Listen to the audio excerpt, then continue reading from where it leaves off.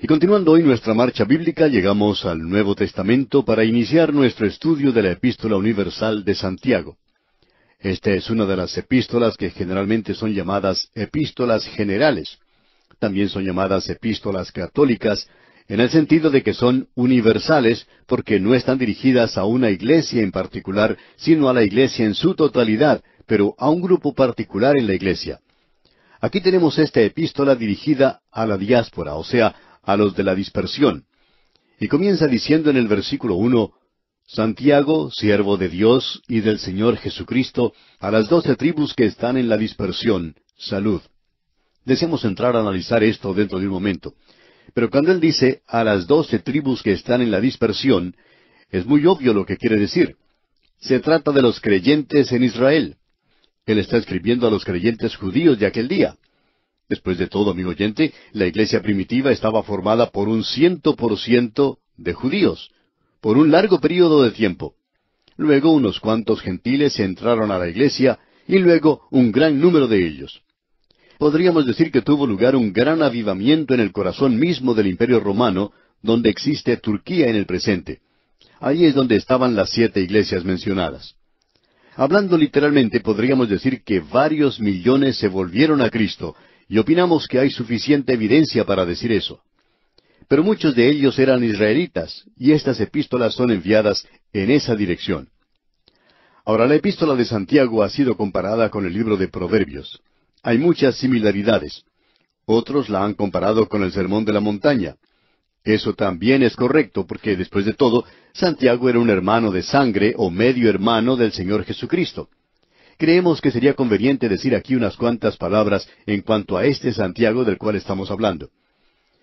Cuando estudiamos el libro de Hebreos, la epístola a los Hebreos, tuvimos cierto problema en cuanto a su autor. ¿Quién escribió el libro? O la epístola a los Hebreos. ¿La escribió el apóstol Pablo? Bueno, nosotros opinamos que fue él quien lo hizo. Hay otros que opinan que fue el evangelista Lucas quien escribió esa epístola, o Bernabé, Así es que se ha mencionado unos cuantos. Ahora tenemos aquí también un problema en cuanto al autor de la Epístola Universal de Santiago. No hay ninguna duda que fue Santiago quien escribió la carta de Santiago, pero ¿cuál Santiago fue? Hay personas que han encontrado seis Santiagos diferentes en el Nuevo Testamento. Bueno, es muy obvio que en varios lugares se está hablando del mismo Santiago. Creemos que uno puede encontrar tres que son identificados claramente. Algunos, por supuesto, hacen de esto cuatro Santiagos, pero nosotros nos conformamos con solamente tres.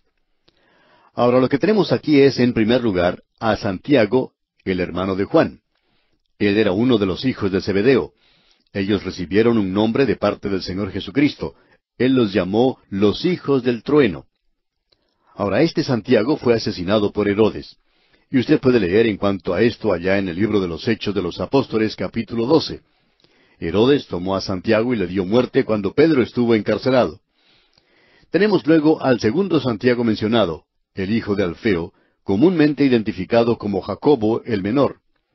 Él es mencionado en la lista de apóstoles, pero se conoce muy poco en cuanto a él.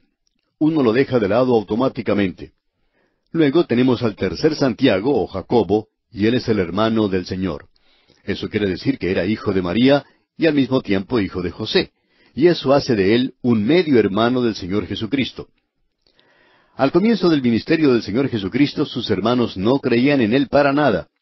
Se nos menciona en Mateo capítulo 13 versículo 55, ¿no es este el hijo del carpintero?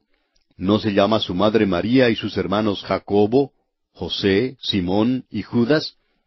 Así es que este Jacobo, o Santiago, es quien nosotros creemos que escribió esta epístola de Santiago él llegó a encabezar la iglesia de Jerusalén. Y en el capítulo quince del libro de los Hechos encontramos que ese gran concilio de Jerusalén, bueno, él parecía estar a cargo de ese concilio, parecía ser el presidente de ese concilio. Por lo menos fue él quien resumió todo lo que se dijo y llevó a cabo la decisión, evidentemente guiado por el Espíritu Santo. Opinamos también que el apóstol Pablo hizo una referencia en cuanto a él. En su epístola a los Gálatas capítulo dos, el apóstol Pablo tiene algo que decir en cuanto a él. Vamos a ver qué es lo que dice allá en Gálatas capítulo dos versículo nueve. Y reconociendo la gracia que me había sido dada, Jacobo, Cefas y Juan, que eran considerados como columnas, nos dieron a mí y a Bernabé la diestra en señal de compañerismo, para que nosotros fuésemos a los gentiles y ellos a la circuncisión. Ahora lo que tenemos aquí es al hombre que nosotros creemos que es el autor de esta epístola, la cual fue escrita aparentemente alrededor del año 45 al 50 después de Cristo, no más allá del año 50, ni tampoco más temprano del año 45, pero probablemente alrededor del año 45 después de Cristo. Ahora hay algunos que han dicho que Santiago escribió su epístola para combatir las enseñanzas de Pablo, que él enfatizaba las obras y que Pablo enfatiza la fe. Vamos a entrar en esto más adelante, pero eso no puede ser cierto porque la primera epístola del apóstol Pablo, la primera epístola a los tesalonicenses, no pudo haberse escrito antes del año 56. Lo que queremos decir es que se escribió entre los años 52 al 56.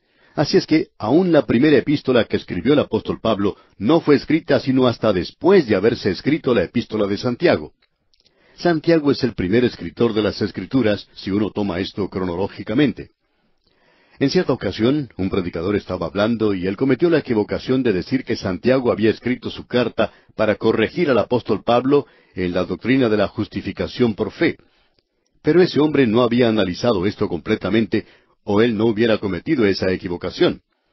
Vamos a entrar en esto más adelante, pero el tema que Santiago presenta no es el de las obras nada más.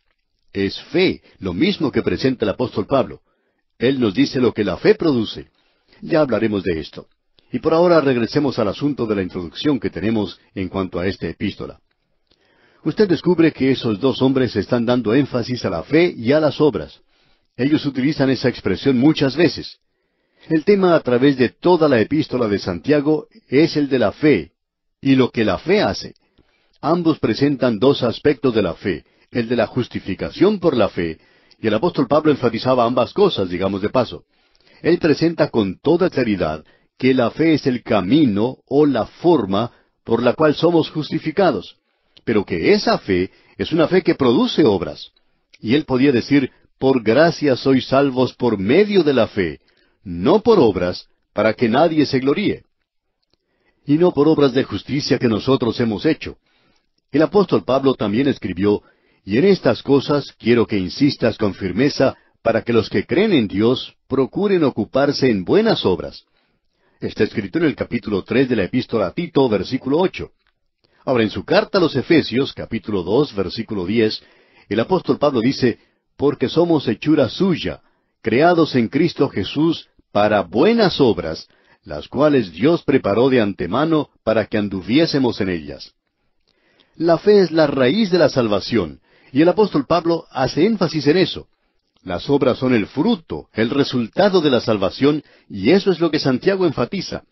La fe es la causa de la salvación, y las obras, como hemos dicho, es el resultado de la salvación. Y cuando el apóstol Pablo habla de que las obras no lo salvan a uno, él está hablando en cuanto a las obras de la ley. Y cuando Santiago enfatiza de que las obras son importantes y esenciales, él está hablando en cuanto a las obras de la fe, no de las obras de la ley. Él dice, muéstrame tu fe sin tus obras, y yo te mostraré mi fe por mis obras. Dios nos observa y considera lo que hay en nuestro corazón. Él sabe si usted cree o no cree. Eso es justificación por la fe. Pero su vecino de al lado, él no puede ver su corazón. Él puede observar solamente sus obras, el fruto de eso. Vamos a hablar mucho de eso más adelante en esta epístola. Consideramos dos versículos como claves en esta epístola de Santiago. El primero de ellos lo vemos en el primer capítulo, versículo 22, donde dice, Pero sed hacedores de la palabra, y no tan solamente oidores, engañándoos a vosotros mismos. Y luego en el capítulo dos, versículo 20 leemos, Mas quieres saber, hombre vano, que la fe sin obras es muerta? Como ya hemos indicado anteriormente, tenemos aquí una epístola práctica. Santiago aparentemente era una persona muy práctica. La tradición cuenta que a él se le dio un sobrenombre y ese sobrenombre fue rodillas de camello. Y la razón para eso es que él pasaba mucho tiempo en oración. Él trata mucho con asuntos prácticos como la ética del cristianismo, no la doctrina. Él va a poner mucho énfasis en esto, pero él no se va a apartar para nada de la fe.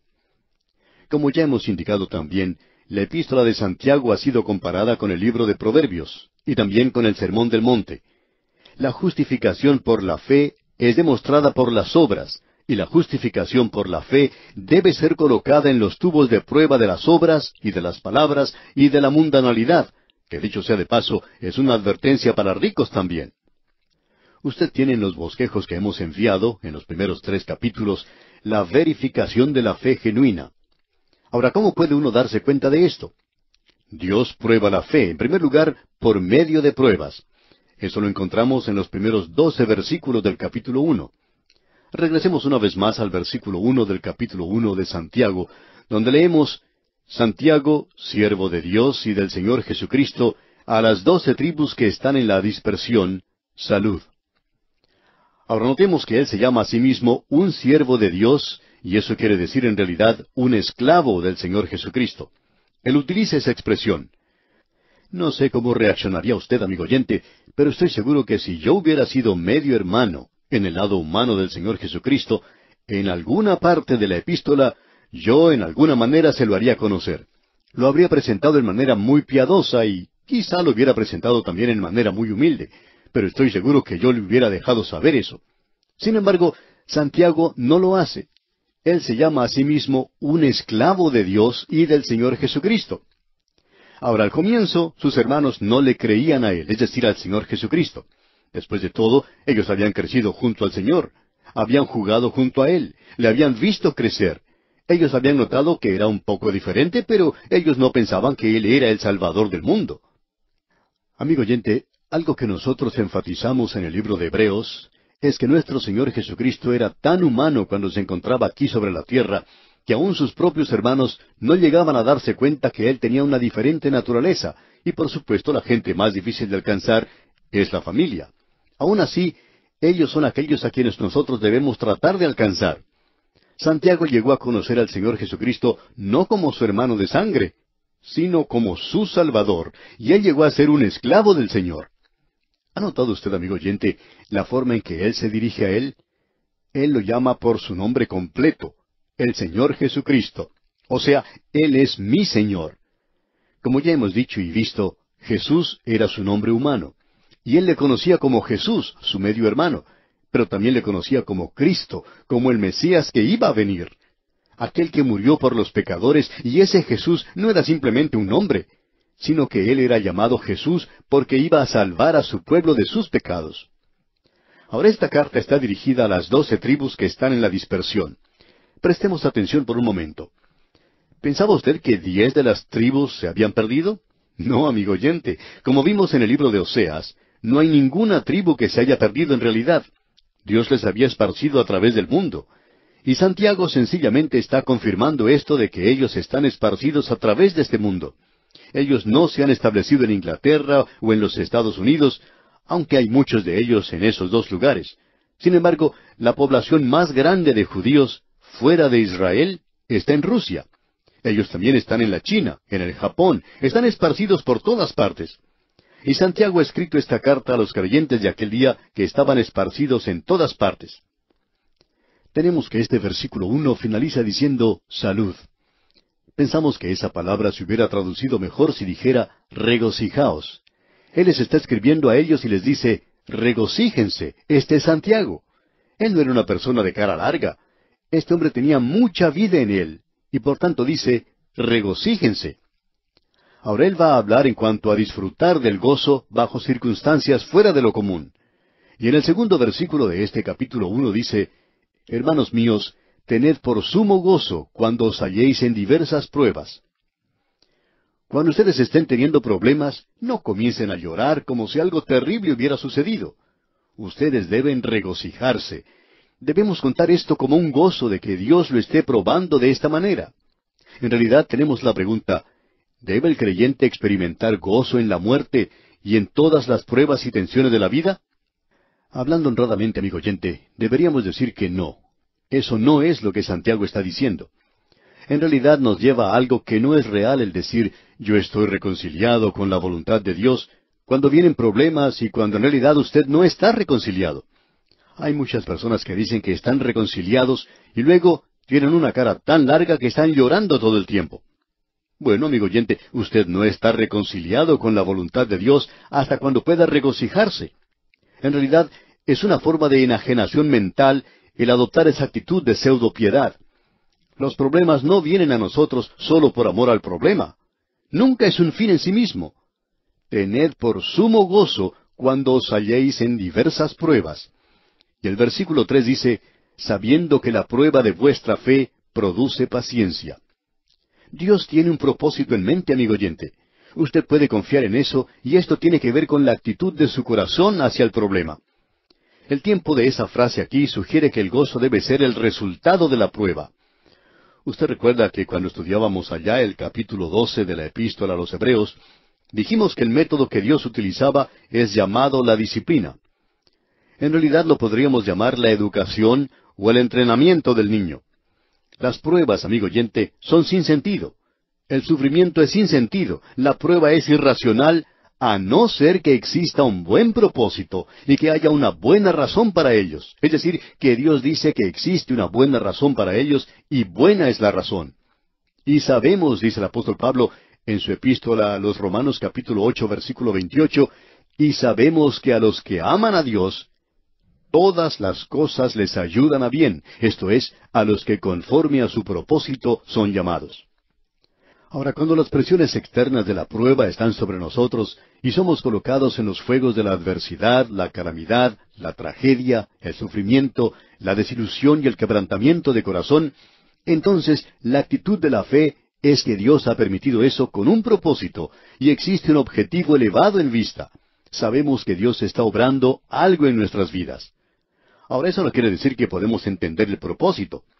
Esta es la prueba de la fe. Nosotros andamos por fe y no por vista. Dios no hace nada ni permite que algo suceda, sino aquello que nosotros permitiríamos si pudiéramos ver a través de todos los hechos tan bien como lo puede hacer Él. Alguien dijo eso en la Edad Media, pero no recordamos quién fue que lo dijo. Simplemente lo mencionamos aquí porque encaja en lo que estamos hablando. Ahora, ¿cuáles son algunos de los propósitos que resultan en la prueba de la fe? ¿Nos ha mostrado Dios alguna guía para esto? Bueno, en esta epístola tenemos la prueba positiva de la fe genuina. Notemos lo que nos dice aquí Santiago, sabiendo, ¿sabiendo qué? Que la prueba de vuestra fe produce paciencia. Eso es lo importante, amigo oyente. Bueno, no tenemos mucho tiempo para desarrollar esto hoy. Vamos a desarrollarlo y lo vamos a tener que dejar Dios mediante para nuestro próximo programa, porque esto es algo muy importante y debemos considerarlo nuevamente. Cuando estábamos estudiando la epístola a los Hebreos, en el capítulo 12, dijimos que una de las preguntas más mencionadas hoy es, ¿por qué sufren los hijos de Dios? Es decir, lo más popular, o podríamos decir impopular, es una pregunta que se hace con más frecuencia que la pregunta que dice ¿quién es el anticristo? o ¿cuál es el Evangelio social? Este es uno de los grandes temas de la vida que nos alcanza en el mismo lugar en que vivimos. Esta es la vida, amigo oyente. Y esto hace de esta epístola una epístola viviente, algo que no ha muerto, por cierto. Y veremos esto al avanzar en nuestro estudio en esta epístola de Santiago. Nos detenemos aquí por hoy, amigo oyente, y como lo hacemos siempre, le sugerimos leer todo este primer capítulo de la epístola de Santiago y estar de esta manera bien informado de lo que estudiaremos en nuestro próximo estudio. Continuamos hoy, amigo oyente, nuestro recorrido por la Epístola Universal de Santiago, que comenzamos en nuestro programa anterior. Y encontramos que este es un libro muy práctico.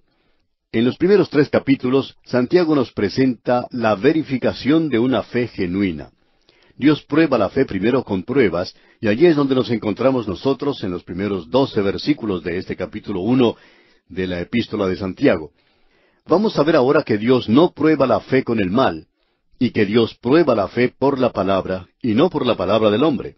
Dios prueba la fe por la actitud y la acción con respecto a las personas. Dios prueba la fe por las buenas obras y Dios prueba la fe por medio de la lengua. Y esa es una buena forma de probarla también. Vamos a ver esto pues al recorrer las páginas de esta epístola. Nos encontramos ahora en una sección donde Dios prueba la fe mediante las pruebas, mediante los problemas, mediante los sufrimientos. Como indicamos en nuestro programa anterior, la fe produce algo, pero Dios no permite que usted tenga pruebas a no ser que esas pruebas produzcan algo en su vida. Es decir, que cuando andamos por la fe y se nos presentan los problemas, no quiere decir que nosotros debemos comprender esto, pero sí quiere decir, en primer lugar, que es una prueba positiva de una fe genuina. Leamos otra vez el versículo tres de este capítulo uno de la Epístola de Santiago. Sabiendo que la prueba de vuestra fe produce paciencia. Ahora nosotros podemos saber que esto está obrando de manera buena en su vida. Permítanos presentar una ilustración. En algunas ciudades hay fábricas donde se construyen aviones. Hay fábricas que permiten a los visitantes observar cómo comienza la preparación para la producción de un nuevo modelo de avión. Para comenzar, los ingenieros presentan un nuevo diseño, y por supuesto se hacen planos y luego se construyen modelos en miniatura. Luego estos ingenieros hacen pruebas con los modelos. Y entonces comienza la construcción del avión mismo. Puede que pase uno o dos años y luego sale de una de esas plantas de construcción un nuevo aparato. Pero por supuesto aquí se presenta esta pregunta. ¿Volará ese avión? ¿Cómo funcionará? ¿Soportará la prueba? Esas compañías tienen pilotos de prueba. El piloto de prueba toma ese avión y lo lleva al campo de aterrizaje y de allí se eleva. Ese es un trabajo que no me gustaría tener a mí. Sin embargo, cuando el piloto ya está en el aire, lleva a cabo diferentes pruebas con ese aparato. ¿Soportará esta clase de prueba? Y luego ese avión resulta ser todo lo que el fabricante dijo que era. Ahora la gente tiene confianza en ese avión y una de las compañías de transporte compra ese tipo de avión y lo lleva al aeropuerto. Suben los pasajeros y es así como llega a hacer su tarea de llevar personas de un lugar a otro por el aire. Es un aparato que sirve y que es útil. Ahora la fe genuina debe ser probada. Un buscador de oro lleva cierta sustancia a una oficina para que un empleado de allí pruebe si hay allí oro o plata en esa sustancia. Este hombre le pone fuego y echa un poco de ácido sobre esa sustancia y luego declara que es genuina. Ahora Dios prueba la fe para ver qué es genuino y qué no lo es. Alguien ha dicho que el ácido del sufrir prueba la moneda del creer, y hay bastante de verdad en eso. Dios lo hace con un propósito. ¿Qué es lo que está buscando? Bueno, en el versículo cuatro leemos, Mas tenga la paciencia su obra completa, para que seáis perfectos y cabales, sin que os falte cosa alguna. Este es un versículo maravilloso. Dios lo prueba a usted para ver si eso puede producir algo en su vida. Y eso es paciencia. ¿Cómo es que Dios produce paciencia? Bien, observemos esto. Mas tenga la paciencia su obra completa, para que seáis perfectos y cabales sin que os falte cosa alguna. La paciencia es lo que hace de nosotros creyentes adultos, maduros. Lo más interesante aquí es que la paciencia es el fruto del Espíritu Santo. Usted nunca llegará a ser paciente por las pruebas, y el Espíritu Santo tampoco la coloca en una bandeja de plata y se la presenta a usted como regalo. La paciencia, amigo oyente, le llega a uno a través del sufrimiento y de las pruebas. Usted nunca llegará a ser perfecto, es decir, completo, maduro, con una personalidad completa como creyente, si usted no tiene esa paciencia. Por tanto, hay algunos creyentes que nunca crecen completamente. Ellos continúan siendo como niños y todo pastor conoce muy bien esto. Cierto pastor dirigiéndose en una ocasión a su congregación dijo que había más niños en el auditorio principal que en la sala cuna donde cuidan a los niños. Ahora eso no lo hizo a él muy popular en ese momento, por supuesto. Y la diferencia es que esos niños pequeños son algo hermoso, pero esos otros niños que estaban en el auditorio no eran tan lindos. En el día de hoy, amigo oyente, hay muchos que se están quejando y que están criticando y están encontrando faltas con los demás. Hay disturbio, hay tensión y problemas en muchas iglesias. ¿Por qué todo esto? David dijo en el Salmo 131, Jehová, no se ha envanecido mi corazón, ni mis ojos se enaltecieron, ni anduve en grandezas, ni en cosas demasiado sublimes. En verdad que me he comportado y he acallado mi alma como un niño destetado de su madre, como un niño destetado está mi alma. David decía, he descubierto en mi vida que yo tenía que crecer, tenía que dejar de beber la leche y comenzar a comer buena comida, sólida, comer del pan de vida. Tenía que crecer. Y Dios probó a David y eso permitió que él creciera. El apóstol Pablo dice que ese es uno de los resultados del ser justificado por la fe. En su epístola a los Romanos capítulo cinco versículo tres él dice, Y no solo eso, sino que también nos gloriamos en las tribulaciones, sabiendo que la tribulación produce paciencia, y la paciencia prueba, y la prueba esperanza. Y así siguen adelante. Existe un propósito para todo esto, amigo oyente, como usted puede apreciar. Y esa es la razón por la cual hoy tenemos tantos santos que son superficiales nada más. Y hay tantos que tienen cierto sentimiento o complejo de inseguridad como creyentes en el presente. Y hay aquellos que tratan de pertenecer a un grupo intelectual y ellos ponen en duda la palabra de Dios. Y luego hay quienes piensan que nosotros hemos entrado a una nueva moralidad. Bueno, permítanos sugerir por qué no probar la vieja moralidad. Pero el problema es que ellos nunca crecen. Son como pequeños niños. Dios nos da las pruebas, amigo oyente, para producir paciencia en nuestras vidas. Así es como llegamos a ser pacientes. La paciencia, por tanto, viene a través del sufrimiento y de la prueba. Esto quiere decir que vamos a crecer y vamos a ser hijos de Dios maduros. ¿Y cómo necesitamos esto hoy, amigo oyente?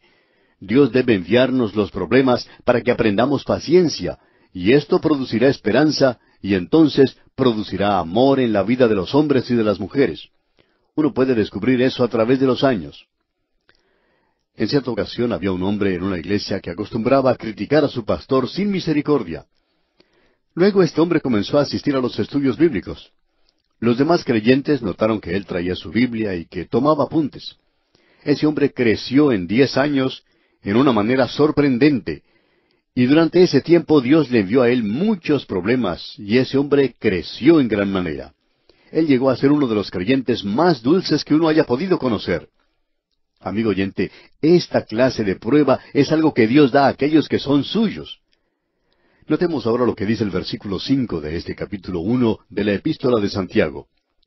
Y si alguno de vosotros tiene falta de sabiduría, pídala a Dios, el cual da a todos abundantemente y sin reproche, y le será dada. Creemos que la sabiduría que se menciona aquí está relacionada con lo que Él está hablando. En el día de hoy yo tengo problemas. Usted tiene problemas, amigo oyente.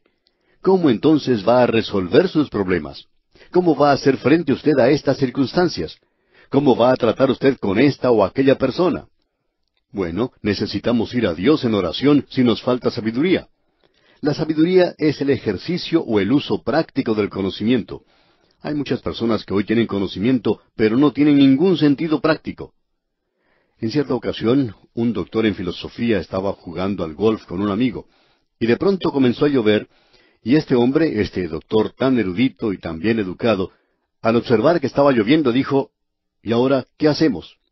Bueno, amigo oyente, no hace falta tener mucha inteligencia para darse cuenta que si está lloviendo, pues uno trata de refugiarse en algún lado para no mojarse. Pero aquí tenemos a este hombre, un doctor en filosofía, y él no tenía sentido suficiente como para salir de la lluvia. Amigo oyente, la sabiduría es saber cómo actuar bajo ciertas circunstancias de prueba cuando se presentan los problemas y las dudas. La vida está llena de estas cosas y por tanto usted y yo necesitamos tener la sabiduría de Dios. Ahora, ¿qué es lo que uno hace? Bueno, a Dios le gusta dar abundantemente, sin reproche. Él simplemente le ayuda a usted en momentos como estos. Sin reproche. Eso indica que es una forma de dar sencilla y pura, sin agregar ninguna clase de mal ni amargura. Eso es lo que usted y yo tenemos que hacer. Si nos falta la sabiduría, vayamos a Dios, y Él va a escuchar y contestar nuestra oración. Escuchemos cómo comienza el versículo seis. Pero pida con fe, no dudando nada. Nuestro problema hoy, amigo oyente, y quizá no sea su problema, pero ha sido el mío, y durante muchos años, en el transcurso de mi vida como creyente, no he creído lo suficientemente a Dios. Ahora no quiero que usted me entienda mal, amigo oyente. Yo creo en Cristo como mi Salvador y creo de todo corazón que Él me ha salvado y que me salvará, amigo oyente. Creo eso de todo corazón. Pero aquí en los problemas de la vida, en las dificultades, es donde tenemos esos problemas.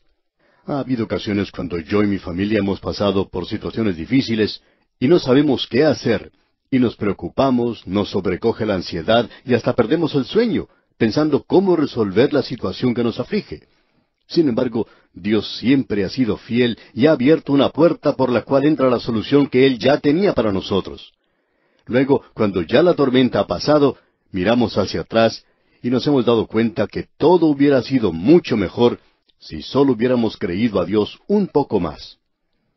Santiago dice aquí en este versículo seis, pero pida con fe, no dudando nada. Amigo oyente, permítame preguntarle, ¿cuál es su situación en este momento? ¿Por qué no cree usted en Dios hoy? Estoy hablándole como creyente. ¿Tiene usted una cara larga hoy? ¿Está preguntándose cómo resultará esto o aquello? Sabemos exactamente cómo se siente usted, amigo oyente. Nosotros ya hemos pasado por eso. ¿Por qué no cree usted a Dios? ¿Por qué no confía en Él? Ponga esos problemas en sus manos. Si alguno de vosotros tiene falta de sabiduría, amigo oyente, yo sé eso, yo no soy lo suficientemente inteligente como para hacer frente a los problemas de la vida. Yo no soy capaz de vivir en esta civilización tan compleja. Pero tengo un Padre Celestial y Él puede darme toda la sabiduría que yo necesito y la que usted también necesita. Y luego el versículo seis finaliza diciendo, porque el que duda es semejante a la onda del mar que es arrastrada por el viento y echada de una parte a otra. A veces nosotros decimos, bueno, yo creo que Dios va a obrar en esto. Pero cuando nos llega la ocasión, saltamos a una conclusión nosotros mismos y tratamos de tomar nuestra propia decisión. Yo lo he hecho muchas veces. Lo entrego todo en las manos del Señor, y creo, pero al día siguiente ya no creo más y decido que siendo que nada ha sucedido, como una solución, pues que lo voy a resolver yo mismo. Y allí es donde cometo mi gran equivocación. Aquí dice, el que duda es semejante a la onda del mar, es arrastrada por el viento y echada de una parte a otra. Luego él dice en el versículo siete, No piense pues quien tal haga que recibirá cosa alguna del Señor. Si usted va a tratar de resolverlo, entonces Dios no puede hacerlo. Usted tiene que permitir que Él trate de resolver las cosas por usted. Luego en el versículo ocho nos presenta un proverbio y es uno bastante bueno. Escuche usted. El hombre de doble ánimo es inconstante en todos sus caminos. Esto es algo que habíamos visto ya en la epístola a los Hebreos. Ese era un gran problema para Israel. Cuando estudiamos el libro de Oseas, vimos que era como una palomita incauta. Dios dice, como una paloma incauta vuela a Siria. Primero va uno y luego va al otro, pero no va a Dios.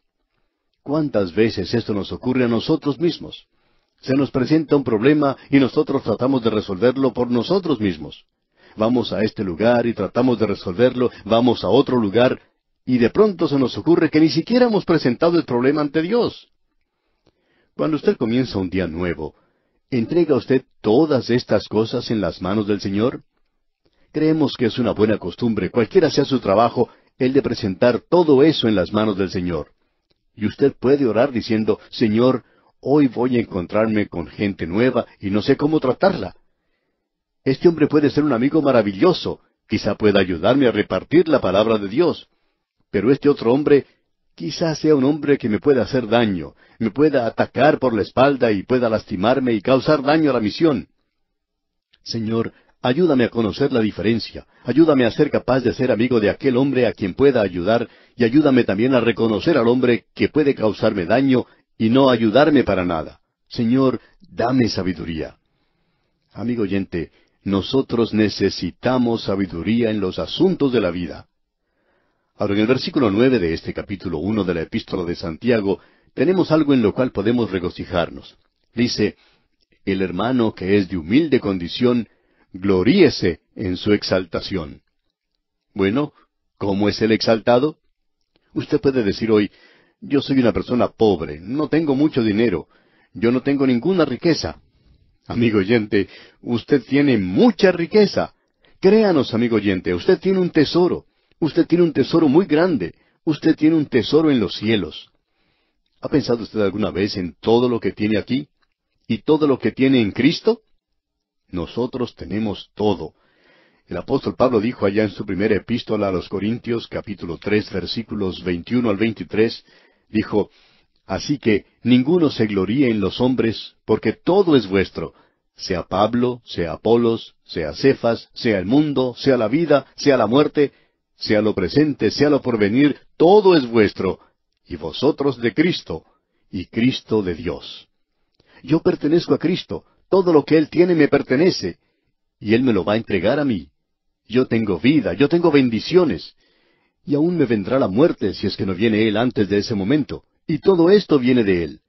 Yo me puedo regocijar en todas esas cosas. Amigo oyente, aún la persona más humilde que nos esté escuchando puede ser la persona más pobre en la tierra. Pero amigo oyente, usted es rico en Cristo Jesús. Usted tiene algo en qué regocijarse.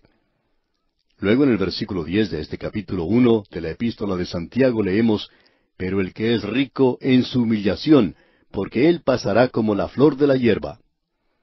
A veces uno puede observar, especialmente en una universidad, algunos edificios dedicados o que llevan el nombre de alguna persona rica. ¿Sabe usted dónde están esas personas ricas hoy? Bueno, ellos han pasado, la flor de la hierba.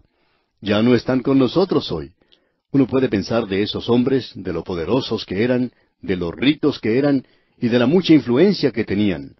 Sin embargo, ya no están con nosotros hoy. Han desaparecido. Amigo oyente, no se regocije en el hecho de que usted es una persona rica porque usted no va a tener eso por mucho tiempo. Ahora alguien quizá diga, bueno, usted está equivocado. Yo tengo acciones y tengo muchas otras posesiones. Bueno, usted lo puede tener, amigo oyente, pero usted va a perder eso. Mejor dicho, no creemos que usted lo vaya a perder, sino que esas acciones lo perderán a usted uno de estos días. Porque cuando llegue la muerte, usted ya no va a poder controlar eso. No puede llevarse eso con usted, amigo oyente. Ese antiguo dicho muy bien conocido de que la mortaja no tiene bolsillos es muy cierto, amigo oyente. El rico pasará como la flor de la hierba. En el versículo once leemos, Porque cuando sale el sol con calor abrasador, la hierba se seca, su flor se cae, y perece su hermosa apariencia. Así también se marchitará el rico en todas sus empresas. Y eso es cierto con algunas artistas de cine en particular. Una de ellas, que era muy famosa hace mucho tiempo, ya ha fallecido, y hasta llegó a ser creyente. Esa mujer al entrar en años ya había perdido mucho de la belleza que tenía. Todo eso pasa, amigo oyente. También se marchitará el rico en todas sus empresas. Amigo oyente, regocíjese hoy, regocíjese porque usted tiene un Salvador que no solo lo salvará a usted para el cielo, y eso es muy bueno para mí, sino que también Él le va a ayudar hoy, hoy mismo, y eso siempre es de mucha ayuda, de mucho ánimo. Bien, amigo oyente, vamos a detenernos aquí por hoy. Dios mediante continuaremos en nuestro próximo programa. Pero antes le sugerimos leer todo el capítulo uno de la epístola de Santiago para estar mejor informado de lo que diremos en nuestro próximo estudio. Continuamos hoy nuestro recorrido por la epístola de Santiago. Nos encontramos en nuestro estudio del primer capítulo de esta epístola. Y en este capítulo tenemos ante nosotros las pruebas de la fe. Hemos podido apreciar que tenemos aquí una verificación de la fe genuina. Esto en los primeros tres capítulos. Dios examina nuestra fe por medio de pruebas, en los primeros doce versículos de este capítulo uno. Aún nos encontramos en esta porción de las Escrituras y esperamos completarla hoy. Esto es semejante a una universidad. Dijimos al comienzo que esta epístola de Santiago es un libro muy similar al libro de Proverbios, o podríamos decir que Proverbios es muy similar a Santiago. Vimos esto cuando dijimos en nuestro programa anterior, el hombre de doble ánimo es inconstante en todos sus caminos, que es el versículo ocho de este capítulo uno. Y eso quiere decir que esa persona no se puede decidir. Esto quiere decir que este hombre no puede alcanzar una decisión propia es inconstante en todos sus caminos. Es una persona que puede cambiar mucho, es decir, es un creyente como un yoyo. Ahora, cuando estudiamos el libro de Proverbios, dijimos que era como un joven que se estaba preparando para entrar a la universidad. Este joven investiga las diferentes universidades y esta es la Universidad de la Sabiduría. Bien, aquí nuevamente tenemos otra universidad, y la podemos llamar la Escuela del Golpe y del Porrazo. Esta es la universidad en la cual nos encontramos la mayoría de nosotros hoy. Dios quiere llevar a aquellos que son suyos a un crecimiento completo como creyentes, y Él tiene gran cantidad de pruebas y ciertos exámenes de ingreso. Dios prueba a todos sus hijos para ver si ellos son genuinos, para ver si hay una realidad, para sacar aquello que es falso, aquello que es de los pseudo santos. Y luego quiere dar una seguridad al Hijo de Dios. Las pruebas en realidad no son una muestra de que usted no es un hijo de Dios, sino que son pruebas positivas de su fe. Amigo oyente, si usted no está teniendo dificultades hoy, podríamos poner en duda su salvación. Si usted está teniendo problemas, eso es una buena prueba, amigo oyente. Y Él nos dice que usted puede saber, y queremos enfatizar eso que dice el versículo tres de este capítulo uno. Sabiendo que la prueba de vuestra fe produce paciencia. Dios prueba esto de formas muy diferentes, y Él lo hace según se nos dice aquí, sabiendo que la prueba de vuestra fe produce paciencia. O sea que Dios tiene un objetivo que realizar. Y este objetivo que se menciona aquí, y hay muchos de ellos, es el de que haya paciencia en su vida. Dios no solo quiere demostrarle que usted es el hijo genuino de Él, sino que también quiere producir paciencia en su vida. Y hay mucho que se ha escrito en cuanto a este tema en particular. Cierto escritor anónimo dijo lo siguiente, Si todo fuera fácil, si todo fuera brillante y claro, ¿dónde estaría la cruz? ¿Dónde estaría la lucha? Pero en el lugar difícil en que Dios le ha colocado a usted, existe la posibilidad de probar lo que Él puede hacer. Otra persona dijo lo siguiente, Si debo llevar una carga, Cristo me llevará.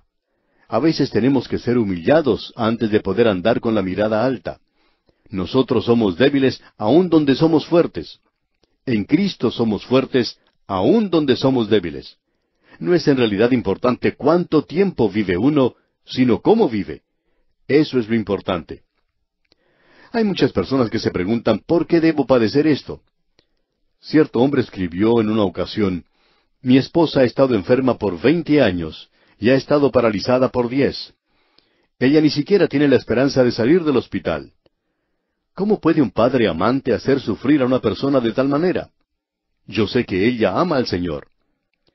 Este hombre estaba preocupado en gran manera, en manera genuina. Él no tenía una respuesta para su problema.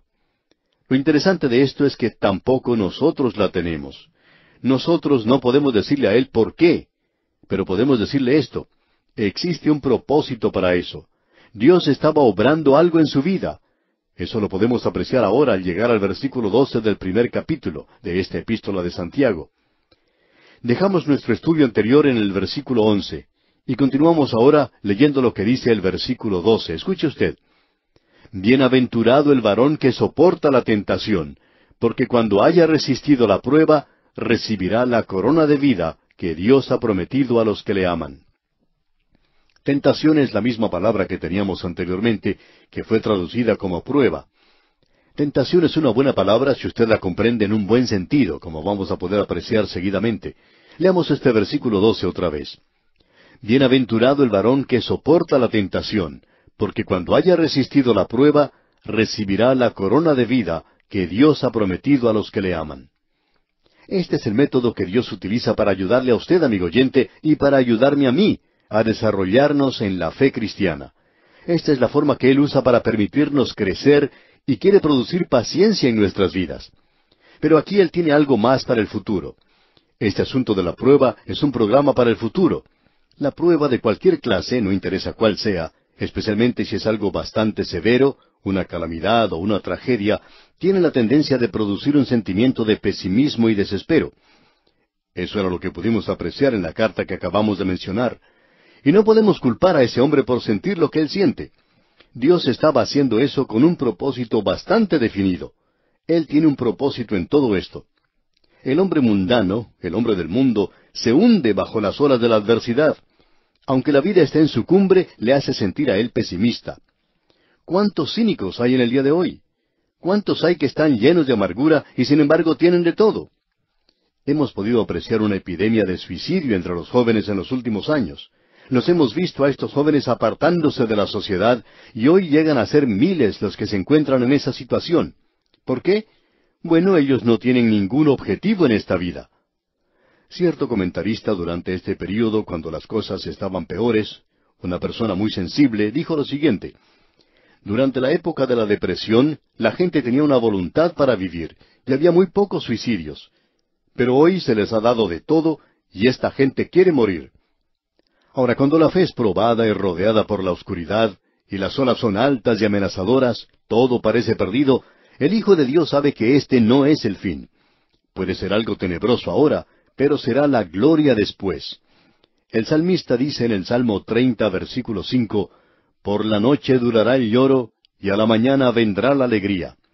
Y aquí se nos dice, porque cuando haya resistido la prueba, recibirá la corona de vida que Dios ha prometido a los que le aman. uno puede notar que las personas que han sufrido mucho han entrado a una relación muy amorosa con el Señor Jesucristo. Mucho se ha escrito en cuanto a esto, y alguna persona lo ha expresado de la siguiente manera.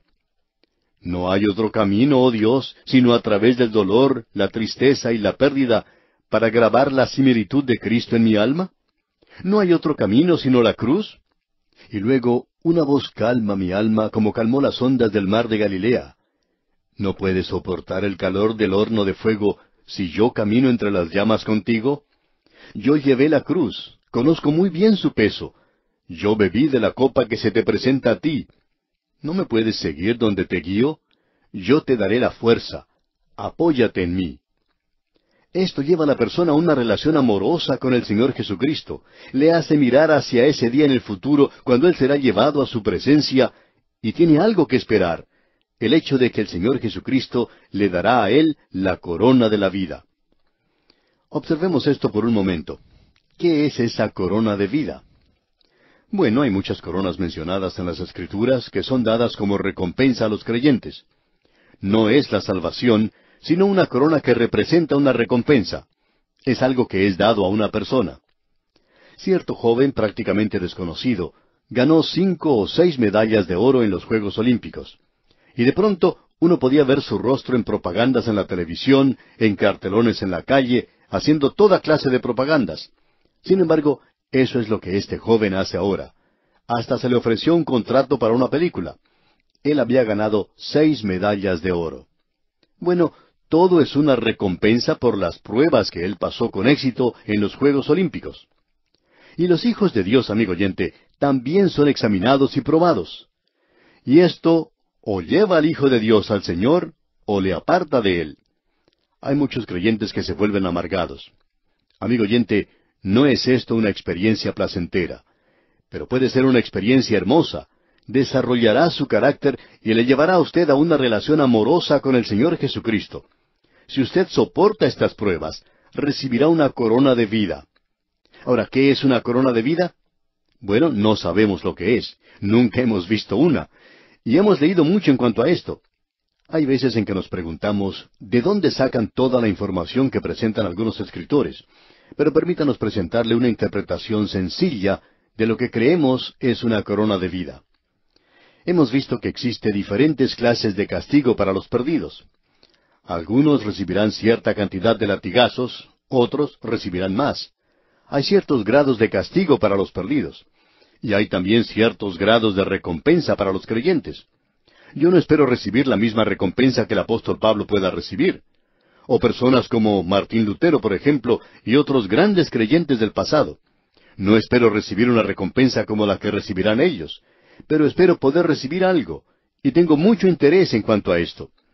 Creemos que la corona de vida es aquello que lo lleva a uno a una relación muy cerca del Señor Jesucristo, mucho más que cualquier otra cosa pueda ser.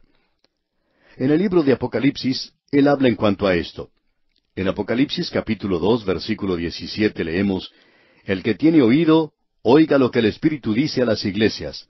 Al que venciere, daré de comer del maná escondido, y le daré una piedrecita blanca, y en la piedrecita escrito un nombre nuevo, el cual ninguno conoce sino aquel que lo recibe.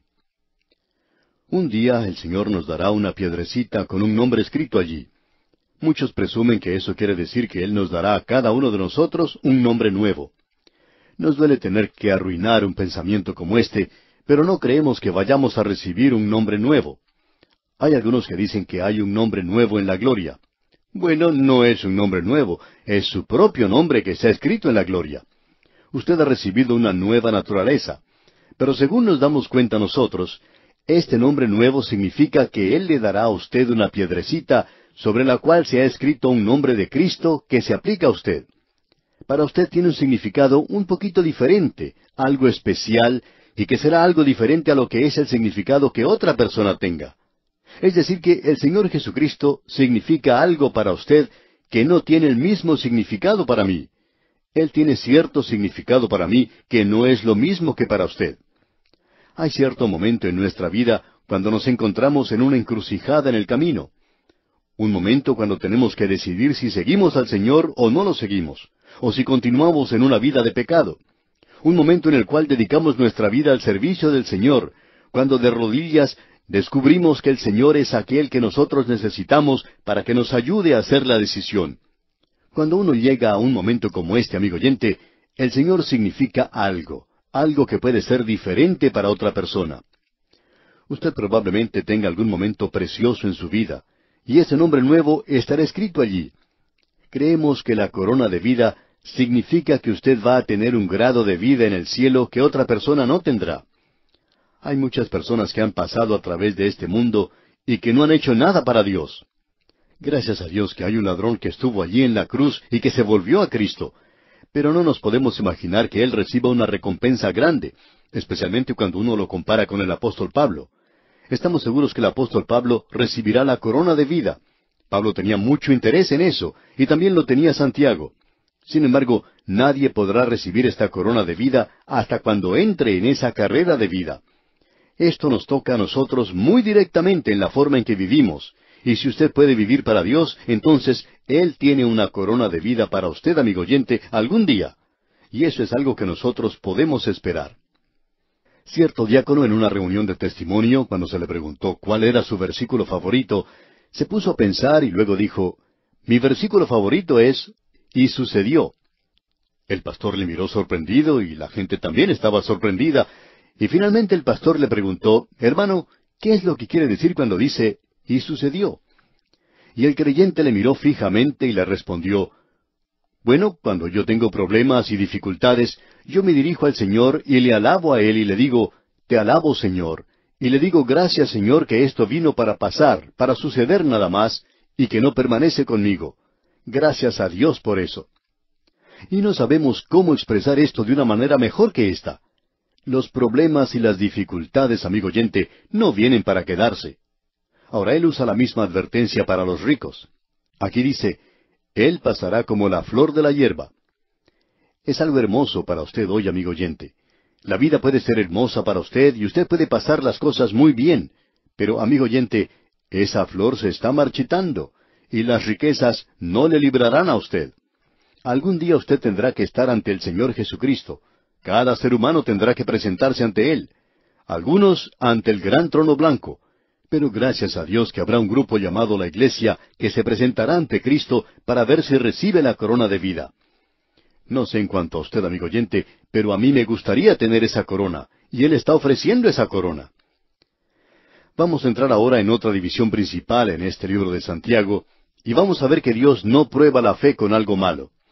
De eso es de lo que hablaremos Dios mediante en nuestro próximo estudio, porque en el versículo doce de este capítulo uno de la epístola de Santiago leímos Bienaventurado el varón que soporta la tentación, porque cuando haya resistido la prueba, recibirá la corona de vida que Dios ha prometido a los que le aman.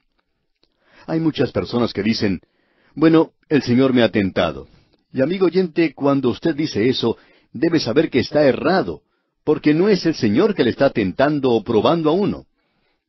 El apóstol Santiago nos va a aclarar ese punto y lo va a presentar de una manera muy clara, por cierto. En el versículo trece de este capítulo uno de la epístola de Santiago leemos cuando alguno es tentado, no diga que es tentado de parte de Dios, porque Dios no puede ser tentado por el mal, ni Él tienta a nadie. Esta es una tentación para hacer el mal. Dios no puede ser tentado con el mal y vamos a presentar aquí, Dios mediante, en nuestro próximo programa, un punto de vista teológico y algunos quizá puedan estar en desacuerdo con nosotros y eso está muy bien. Pero aunque Santiago es práctico, él trata aquí con algo que nosotros pensamos muchos de los hijos de Dios necesitan comprender bien.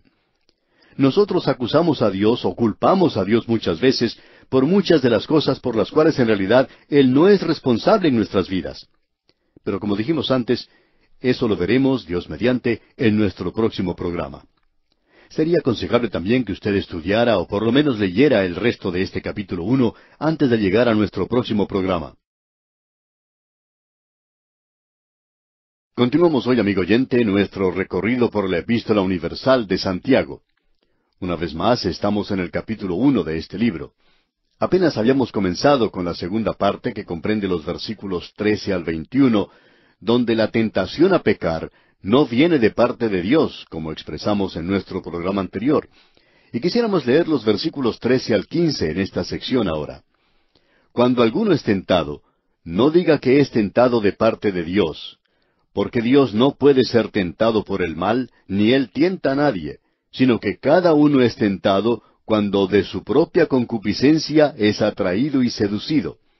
Entonces la concupiscencia, después que ha concebido, da a luz el pecado, y el pecado, siendo consumado, da a luz la muerte. Esta es una sección muy importante para el Hijo de Dios, como ya hemos visto. Dios prueba a los suyos, pero Santiago aquí nos presenta con toda claridad que Dios nunca prueba al hombre con la maldad y el pecado. Probablemente una traducción más literal de la primera parte del versículo 13 es, cuando alguno está siendo tentado, no diga que es tentado de parte de Dios. Debemos notar que aquí él no usa el sustantivo tentación, sino que usa el verbo, o sea, la acción. La inclinación natural de toda la humanidad es el de culpar a Dios por cualquier falta por todas sus debilidades, por todos sus fracasos, en todas las inmundicias y aun la caída que tuvo lugar al principio. Usted recuerda lo que Adán dijo, la mujer que tú me diste, dijo él. Él estaba echándole la culpa a otra persona aquí. Y la mujer hizo lo mismo. Ella dijo, la serpiente me engañó. Amigo oyente, los tres eran responsables en este asunto, es decir, Adán, Eva y la serpiente. En el día de hoy uno escucha a la gente que dice, ¿por qué envía Dios inundaciones y terremotos y mata a los niños? Y nosotros culpamos a Dios hoy por la avaricia y el egoísmo de la humanidad. Eso es lo que envía las inundaciones y los terremotos. Los hombres construyen las casas muy cerca del río. Luego, cuando éste aumenta su cauce, dicen que están teniendo una inundación. Pero así es como corre ese río. Es mucho más lindo, claro, vivir cerca del río está cerca de una vía de transporte. Allí es donde tienen lugar los negocios y es por cierto la avaricia del hombre para edificar en ese lugar lo que hace de eso algo peligroso. Dios le había dado una advertencia a Adán, y aún así los hombres no le dan ninguna atención a esto. Hablemos un poquito más cerca a nosotros. Hay algunas zonas del mundo que son propensas a terremotos. Uno los puede sentir casi a diario. Sin embargo, hay personas que van a vivir a esa zona, les gusta cómo es el clima y construyen sus casas, algunos edificios muy altos y todo eso. Entonces, no podemos culpar a Dios si se cae la casa o si un pedazo de cemento de estos edificios lo golpea a uno o mata a un ser querido. No podemos acusar a Dios o culpar a Dios por eso. Sería mucho más seguro vivir en un lugar amplio donde no existe esa propensión a terremotos. Pero quizá esas zonas no son muy agradables para vivir. Así es que uno no debe acusar o culpar a Dios cuando la gente vive en zonas propensas a terremotos y luego uno de estos ocurre. Porque ya se ha dado la advertencia en cuanto a esto. Los hombres hoy culpan a Dios con su filosofía. El panteísmo, por ejemplo, dice, todo es Dios, pero lo bueno es la diestra de Dios y lo malo está en su izquierda. Bien, amigo oyente, Dios no es un extremista. Él no es un derechista ni es un izquierdista. Ahora el fatalismo dice que todo ocurre como una necesidad ciega. Ellos dicen que si hubiera Dios, lo que está sucediendo es que Él le dio cuerda, como uno de esos relojes que marcan el tiempo por ocho días, y que luego lo abandonó y lo dejó. Ahora, para el materialismo hoy, esta es la explicación. ¿Cuál es el problema con la raza humana? Bueno, las aspiraciones más altas y las pasiones más viles son el metabolismo natural del órgano físico. Esa es la explicación que ellos dan. Ahora Dios ha respondido a eso. Dios no puede ser tentado con el mal. No hay mal en Dios. Todo en Él es bueno y todo en Él es luz y todo en Él es justo. Usted recuerda lo que el apóstol Juan dijo en su primera carta, capítulo uno, versículo cinco. Este es el mensaje que hemos oído de Él y os anunciamos. Dios es luz y no hay ningunas tinieblas en Él. El Señor Jesucristo hizo la siguiente declaración allá en el Evangelio según San Juan, capítulo 14, versículo 30. Porque viene el príncipe de este mundo, mas no tiene nada en mí. Eso quiere decir que no hay nada en Él, es decir, en Dios. Pero cuando Él viene cerca de mí, Él puede encontrar siempre algo. Permítanos inducir aquí algo que es teológico. Quizá usted esté en desacuerdo con esto, ya lo hemos presentado cuando estuvimos estudiando el Evangelio según San Mateo. El Señor Jesucristo no podía pecar. Ahora alguien puede decirnos, ¿por qué fue tentado entonces? Bueno, él dijo en el Evangelio según San Mateo capítulo cuatro versículo siete, Jesús le dijo, Escrito está además, no tentarás al Señor tu Dios. Dios quiere salvarle del pecado, amigo oyente. La tentación a pecar no viene de parte de Dios. Él quiere librar a los hombres. Él nunca usa el pecado como una prueba. Él permite eso, como vamos a ver, pero Él no lo utiliza para nada. El Señor Jesucristo no tenía ningún pecado en Él. El príncipe de este mundo no encuentra nada en Él. Entonces nos hacemos la pregunta, ¿por qué fue Él tentado? Bueno, vamos a expresar lo que pensamos nosotros de por qué de esa tentación del Señor Jesucristo. Él fue tentado para probar que no había nada en él. Después de haber vivido aquí por treinta y tres años, Satanás se acerca a él con esta tentación. La tentación que apela a la personalidad total del hombre, al lado físico, al lado mental y también al lado espiritual. El Señor Jesucristo no podía fracasar, y la prueba o tentación fue dada para demostrar que Él no podía caer, porque si Él pudiera caer, en cualquier momento su salvación y la mía, amigo oyente, podría estar en duda. Porque en el momento en que Él sucumbiera, entonces nosotros no tendríamos un Salvador. Y esto era para probar que Él no podía hacer eso. Permítanos ejemplificar esto con una ilustración un poco casera. Hace algunos años, el ferrocarril que pasaba por cierta localidad campesina tenía que cruzar un río sobre un puente de madera. Este río durante la época del verano era algo insignificante, pero cuando comenzaba la temporada de lluvia, hasta un barco de guerra podía navegar en él. Ahora, en cierta ocasión, este río creció tanto que se llevó el puente del ferrocarril. Los ingenieros se hicieron presentes y construyeron otro puente. Esta vez lo hicieron de acero. Cuando su construcción finalizó, los ingenieros llevaron a ese puente dos locomotoras del ferrocarril, las colocaron en medio del puente y allí detuvieron su marcha.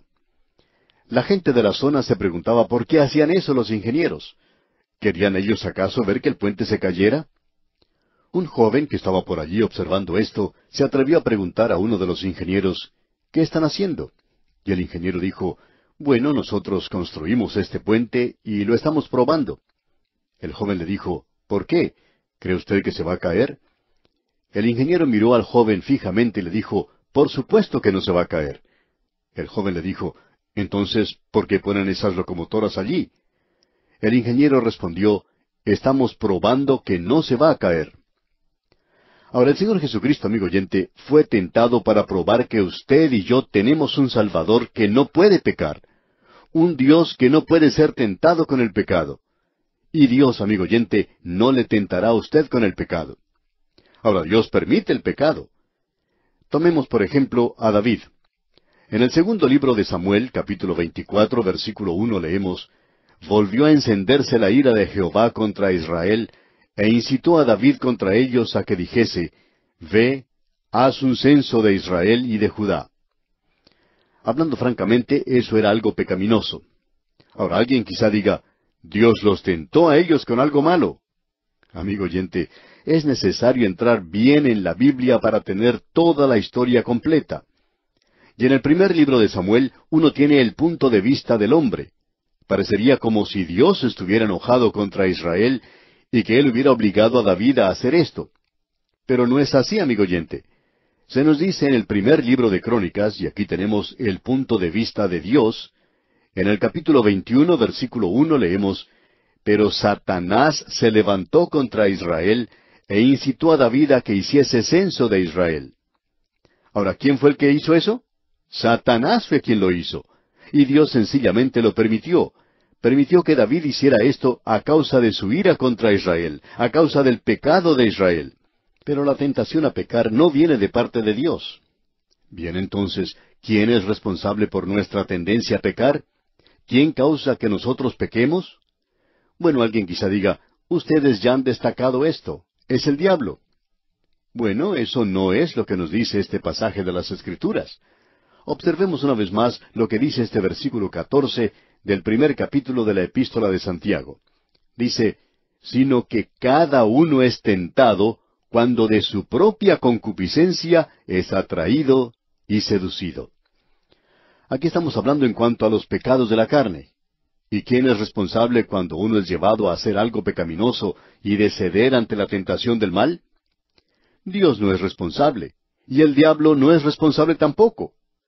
Es usted, amigo oyente, usted mismo quien es responsable. Cierto hombre se perdió en las montañas hace algún tiempo.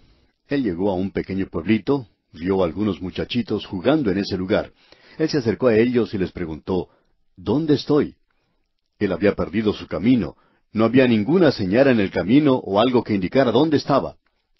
Uno de los muchachitos le miró sorprendido por un momento y finalmente le señaló con uno de los dedos y le dice, Usted está aquí. Amigo oyente, Dios dice que cuando usted hace esta pregunta, ¿quién me tentó a hacer esto? Dios dice, usted está allí, es su propia piel, allí es donde está el problema. Cada uno, dice aquí, cada uno. Y esta es una declaración de la individualidad de cada personalidad de la raza humana. Cada uno. De la misma manera en que cada uno de nosotros tenemos huellas digitales diferentes, cada uno de nosotros tiene una naturaleza moral diferente. Todos nosotros tenemos nuestras propias idiosincrasias, nuestras propias excentricidades. Todos tenemos algo, un poquito diferente del otro. En cierta ocasión había dos hombres que estaban conversando, y el uno le dice al otro, Todos los que están aquí tienen una peculiaridad. Y el otro le respondió, Bueno, yo no estoy de acuerdo con eso. Yo no tengo ninguna peculiaridad. Entonces el primero que habló le dijo, Permítame hacerle una pregunta. ¿Mezcla usted el café con su mano derecha o con la izquierda? Y el otro respondió, bueno, lo mezclo con mi mano derecha. Y este otro hombre le dice, ya ve usted, esa es su peculiaridad, porque la mayoría de la gente lo hace con una cuchara. Amigo oyente, todos nosotros tenemos nuestras peculiaridades. Una persona puede ser tentada a beber, otro puede ser tentado a comer demasiado, otra persona puede ser tentada en el ámbito del sexo. El problema siempre se encuentra con el individuo. No hay ninguna cosa fuera de él que le pueda influenciar a pecar. Tiene que ser algo que viene de adentro. Y allí es donde está el problema. El problema está dentro de nosotros con esa vieja naturaleza que tenemos. Un niño estaba jugando cerca de un lugar donde su madre guardaba las galletas. Él había bajado el recipiente donde ella las guardaba, y su madre escuchó que él estaba por allí y lo llamó y le preguntó qué era lo que estaba haciendo. Entonces el muchachito respondió, Estoy luchando contra la tentación. Amigo oyente, él estaba en un lugar bastante malo para luchar contra la tentación. Y eso es lo que personas ya maduras hacen hoy. Hay muchas cosas que no son malas en sí mismas. Es el uso que uno hace de ellas lo que es malo. La comida es buena, pero uno puede llegar a ser un glotón. El alcohol es medicina, pero uno puede llegar a ser un alcohólico si lo usa indebidamente. El sexo es bueno si se usa dentro de los límites del matrimonio como Dios lo ha establecido, pero si uno lo usa fuera del matrimonio, entonces uno va a tener una epidemia de enfermedad venérea o aún peor, contraer el SIDA. ¿Por qué? Debido a la liberalidad del día de hoy, de la inmoralidad. Y en el día de hoy los psicólogos quieren que nosotros nos libremos de nuestro complejo de culpa. Es decir, hay muchos de ellos que están tratando de hacer eso. Cierto psicólogo decía que los predicadores deberían enfatizar más el complejo de culpa de lo que están haciendo. Él decía que un complejo de culpa es tanta parte de uno como lo es el brazo derecho, que uno no puede librarse de esto. El psicólogo sin Dios hoy dice, por favor, recuéstese aquí. Y luego él quiere hacerle ciertas preguntas al paciente y le dice, ¿es usted religioso? Y el paciente contesta que sí, que no cree en practicar tal clase de cosa. Bueno, en cierta ocasión una señora llamó a su pastor diciéndole que algo terrible le había ocurrido a ella. Ella estaba teniendo problemas y estaba casi a punto de sufrir un colapso nervioso. Y eso era porque estaba pasando por ciertas pruebas. Y ella fue a un psicólogo que había sido recomendado por su médico, y cuando el psicólogo descubrió que ella era una persona creyente, le dijo que ella necesitaba ir al bar y coger al primer hombre que encontrara allí y que así se libraría de ese complejo de culpa que tenía. Imagínese usted, amigo oyente. Y hay otros que le dicen a uno hoy, ¿qué me puede decir en cuanto a sus antecedentes? ¿Le amaba a usted su mamá cuando era pequeño? ¿Qué sucedió cuando ella le concibió a usted y usted estaba en su vientre? Y cualquier respuesta que uno dé, él lo va a tomar como algo para culpar a la madre. Bien, amigo oyente, usted puede resolver muchos de sus problemas acusando a otra persona. O usted puede ir ahora mismo al pie de la cruz y decirle al Señor Jesucristo, que en este momento se encuentra a la diestra de Dios, puede decirle, yo soy un pecador, yo soy culpable. Y amigo oyente, Él quitará ese complejo de culpa que usted tiene y Él es el único que lo puede hacer. En el libro de Proverbios capítulo 26 versículo 7 leemos, Porque cuál es su pensamiento en su corazón, tal es el hombre. La solicitud del pecado tiene que tener una respuesta que corresponda dentro de uno, y aquí él dice, de su propia concupiscencia. Un deseo que no es controlado y entonces uno es atraído y seducido. El Señor Jesucristo dijo, Yo atraeré hacia mí a todos los hombres. El que se burla puede decir, bueno, tú no me atraerás a mí. Bueno, amigo oyente, Él no le forzará a usted. Vimos cuando estudiábamos el libro de Oseas que Él solo utiliza las cuerdas del amor. Él quiere ganarle a usted por medio de su amor y de su gracia. Hablando francamente, amigo oyente, el mal, el pecado es algo atractivo hoy. Moisés fue atrapado al principio por los placeres del pecado, y uno puede ser atraído hoy. Y usted puede, por así decirlo, morder ese anzuelo, y antes de que pase mucho tiempo, ya ese hombre llega a ser un alcohólico o un joven llega a ser un adúltero. Notemos lo que dice el versículo quince de este capítulo uno de la epístola de Santiago. Entonces la concupiscencia, después que ha concebido, da a luz el pecado, y el pecado, siendo consumado, da a luz la muerte. Esta declaración que tenemos aquí realmente es algo tremendo. Usted puede apreciar que la concepción es la unión de dos. Y el deseo del alma se une con la tentación de afuera. El Señor Jesucristo dijo, si tú estás enojado con tu hermano, tú eres culpable de muerte, porque eso comienza en el corazón y luego provoca la acción. Él dice, Cualquiera que mira a una mujer para codiciarla, ya adulteró con ella en su corazón. Si uno mira a una mujer y la desea, ya está cometiendo adulterio con ella. Usted ya ha hecho eso en su corazón donde comienza todo. Ahí es donde siempre comienza. Ahora, ¿es la tentación un pecado? Por supuesto que no es un pecado. Y la respuesta es definitivamente que no es un pecado. Es cuando esa concepción toma lugar, cuando el pensamiento en el corazón se lleva a cabo, entonces se constituye en pecado. Martín Lutero expresó esto de una forma muy interesante. Él dijo, uno no puede cuidar que las aves vuelen sobre la cabeza de uno, pero sí puede cuidarse de que no construyan su nido en su cabello. El pecado es la consumación de un acto de adentro y de afuera. Y eso sucede cuando usted y yo tenemos esa clase de naturaleza. Ahora este versículo concluye diciendo, da a luz la muerte eso finalmente provocará la muerte física. Solo es necesario preguntarle a una persona alcohólica en cuanto a esto. Esto traerá una muerte espiritual y traerá una muerte eterna. El pecado perpetuo y de hábito nunca tiene una línea de comunicación con Dios. Y entonces surge la pregunta, ¿puede pecar un hijo de Dios? Y la respuesta es que sí, sí puede pecar, pero nosotros debemos comprender que Dios nunca utiliza eso para nada. Bien, amigo oyente, no hemos finalizado con esta sección de ninguna manera. Vamos a comenzar avanzando un poco más rápido, Dios mediante, a partir de nuestro próximo programa. Pero queríamos observar esto aquí porque Dios nos presenta esto aquí al nivel de nuestra propia vida. Y Santiago nos está demostrando que esta moralidad tan fácil que tenemos ante nosotros en el presente, esta forma tan ligera y descuidada de observar el pecado hoy, que Dios no tiene parte alguna en eso. Dios juzgará eso. Él dice que hará sencillamente eso, lo va a juzgar. Y aquí nos detenemos por hoy. Continuamos hoy, amigo oyente, nuestro estudio en el capítulo uno de la epístola de Santiago. Y en la sección en que nos encontramos en el presente, pudiéramos llamarla la verificación de la fe. Él ha tratado en los primeros doce versículos con la forma en que Dios prueba la fe mediante las pruebas y la tentación pero no es la clase de tentación que nosotros pensamos como una tentación a pecar. La sección en la cual nos encontramos ahora, en los versículos 13 al 21, la llamamos La tentación a pecar no viene de Dios. La fuente de nuestra tentación a pecar no viene de parte de Dios. Y lo interesante de notar en esto es que tampoco viene de Satanás. Él no culpa a Satanás por esto. Santiago lo presentó de una manera muy clara en el versículo 14 de este capítulo 1, donde dice, sino que cada uno es tentado cuando de su propia concupiscencia es atraído y seducido. Luego dice en el versículo 15, entonces la concupiscencia, después que ha concebido, da a luz el pecado, y el pecado, siendo consumado, da a luz la muerte. Estábamos en esta sección cuando terminamos nuestro estudio en el programa anterior. Dijimos que el pecado se encuentra en la carne. La tentación se encuentra enfrente, delante de uno. Santiago utiliza una palabra muy interesante aquí y la vuelve a utilizar otra vez.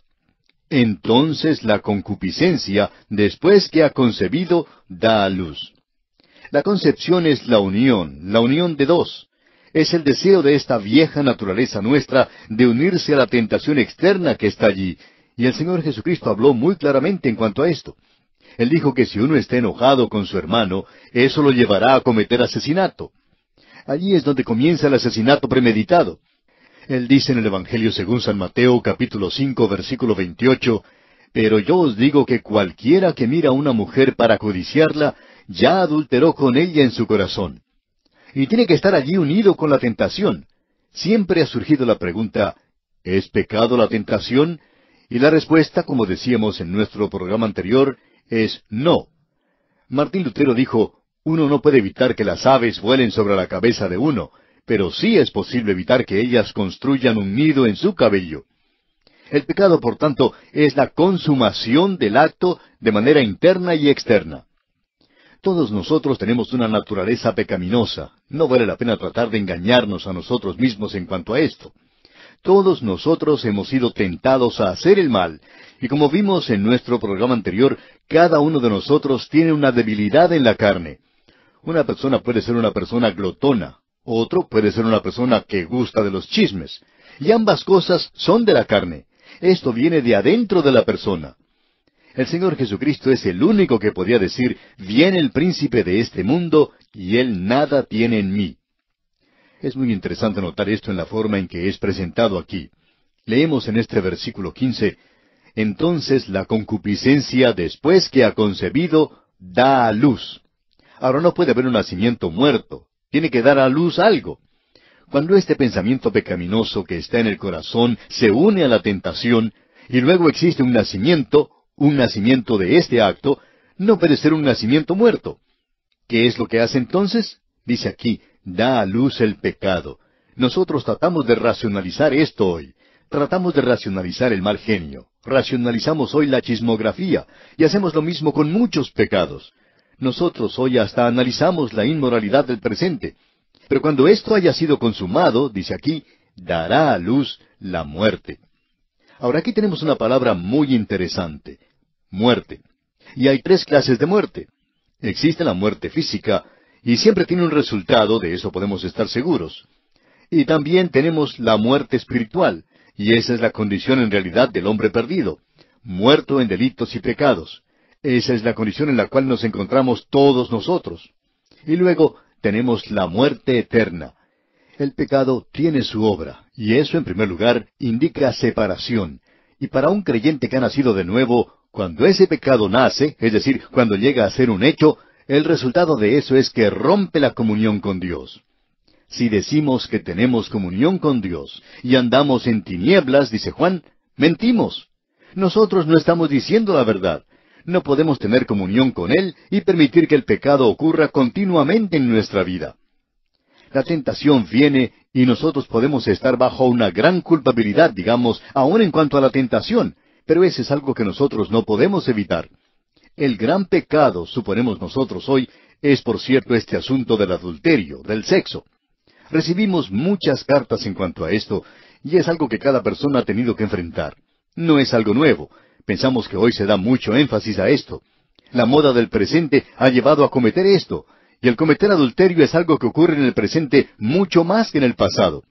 Por cierto que esto fue lo que hizo caer a las grandes naciones del pasado junto con el problema del alcohol. En realidad, el vino, las mujeres y el canto fueron lo que hicieron caer las grandes naciones del mundo. Roma cayó de adentro mismo. Pero debemos presentar muy claramente que la tentación en sí misma no es pecado. No sabemos si usted habrá leído alguna vez la biografía de Juan Wesley. En sus años jóvenes, como usted podrá saber si ha leído esta biografía, este hombre fue a América como misionero. Luego que él había llegado a ese lugar, él clamó, Yo fui a América a convertir a los indios, ¿y quién va a convertir a Juan Wesley? Él tenía un sistema legalista y nunca abandonó mucho de eso. Y esa es la razón por la cual la iglesia que salió de allí se llamó metodista. Ellos tenían cierto método y enfatizaban la santidad. Pero Juan Wesley, cuando fue a América, se encontró viviendo en un campamento para blancos, donde el gobernador de allí había sido nombrado por el rey. Ahora este gobernador era un hombre noble y un hombre anciano, ya que se había casado con una muchacha muy joven.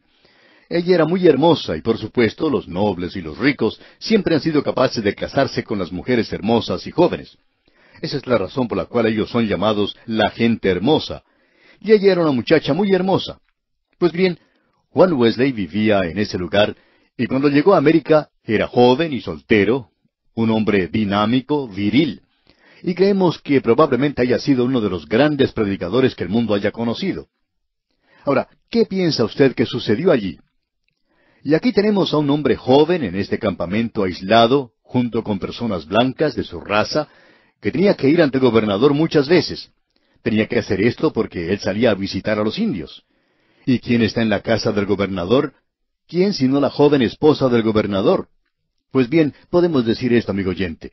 Esta muchacha no se había casado con ese hombre anciano por amor, de eso estamos seguros. Y aquí tenemos a este joven predicador. ¿Y qué piensa usted que ocurrió allí? Bueno, ellos se enamoran el uno del otro. En realidad, este hombre Juan Wesley estaba tan enamorado de ella que hasta se encontraban secretamente, pero nunca hicieron nada fuera de lugar. Sin embargo, él le sugirió una vez a ella que huyeran de ese lugar y que se fueran a vivir entre los indios. Pero ella no quiso aceptar, ella no quería saber nada de eso, y le dijo que él tendría que regresar a Inglaterra. Le dijo, yo creo que Dios tiene una gran obra preparada para ti nunca daría resultado si tú, como misionero, como un joven ministro, huyes conmigo y nos vamos a vivir entre los indios. Ellos estaban en realidad enamorados, pero no había forma de hallar una solución a este problema. De modo que ella le urgió a él a que regresara a su país, y él regresó. El que escribió su biografía dice que mientras la nave que lo llevaría de regreso a Inglaterra esperaba que soplara el viento para poder salir, esta muchacha fue a despedirse de Juan Wesley, y en realidad esa fue la primera oportunidad en que él la tomó en sus brazos. Esa fue una tentación. El biógrafo dice que Juan Wesley sufrió a bordo de la nave y que luego volvió a bajar otra vez para decirle adiós a ella. Y en ese momento decía que ya no iba a regresar a Inglaterra, sino que se quedaría allí. Pero cada vez que él bajaba del barco, ella le decía que él tenía que regresar porque no había forma de solucionar el problema que tenían. De modo que, al fin, él regresó. Más adelante, Juan Wesley se casó con otra muchacha, y ella tenía la costumbre de levantarse en las reuniones y decirle a todo el mundo el gran pecador que él había sido. No creemos que ella haya contado todos los detalles, pero aparentemente sabía algo de sus antecedentes. Y Juan Wesley siempre escuchaba eso sin decirle nada. Él esperaba que ella se cansara de hablar y luego comenzaba a predicar. Y usted ya se puede imaginar, amigo oyente, lo que es tener una esposa así. Pero Juan Wesley regresó a Inglaterra y luego él fue salvo. Y no podemos entrar en detalles de la forma en que llegó a conocer a Cristo, solo queremos referir esto en cuanto a la tentación. Lo importante de esto es que allí existía una tentación, y esa es una de las tentaciones más grandes que pueden presentarse a un joven o a una señorita. Pero la tentación en sí no era pecado. Ahora, si él hubiera huido como tenía intenciones de hacerlo, y si hubiera ido a vivir entre los indios con ella, entonces sí hubiera pecado allí. Uno puede encontrar eso en el ministerio muchas veces. En cierta ocasión un hombre fue a ver a su pastor y le dijo, Pastor, me he enamorado de una muchacha muy hermosa, y quiero que ella sea mía. Y el pastor le preguntó si él le había pedido la mano ya a esa muchacha. Bueno, dijo él, no exactamente. El pastor le preguntó, ¿por qué? Y el joven respondió, porque ella es casada. El pastor le dijo, Mejor es que usted desista de esa idea ahora mismo. Pero este joven preguntó si sería malo que ella obtuviera un divorcio y que ellos se casaran. Y el pastor le respondió que por cierto habría algo muy lamentable y muy malo en eso. El joven decía que ella estaría dispuesta a hacer eso. Pero el pastor dijo que eso no hacía ninguna diferencia. Le dijo el pastor, usted ha sido tentado y tentado en gran manera, pero como hijo de Dios usted nunca podrá salirse con la suya. Y le presentó varios casos donde las personas pensaban que podrían haberse salido con la suya, pero no pudieron ser felices. Hay algunos que se han casado en esas circunstancias y luego han tenido una vida miserable, sin hijos, llegan a ser ancianos y no son felices. Es algo trágico en realidad. Y amigo oyente, hay personas que piensan que pueden salirse con la suya.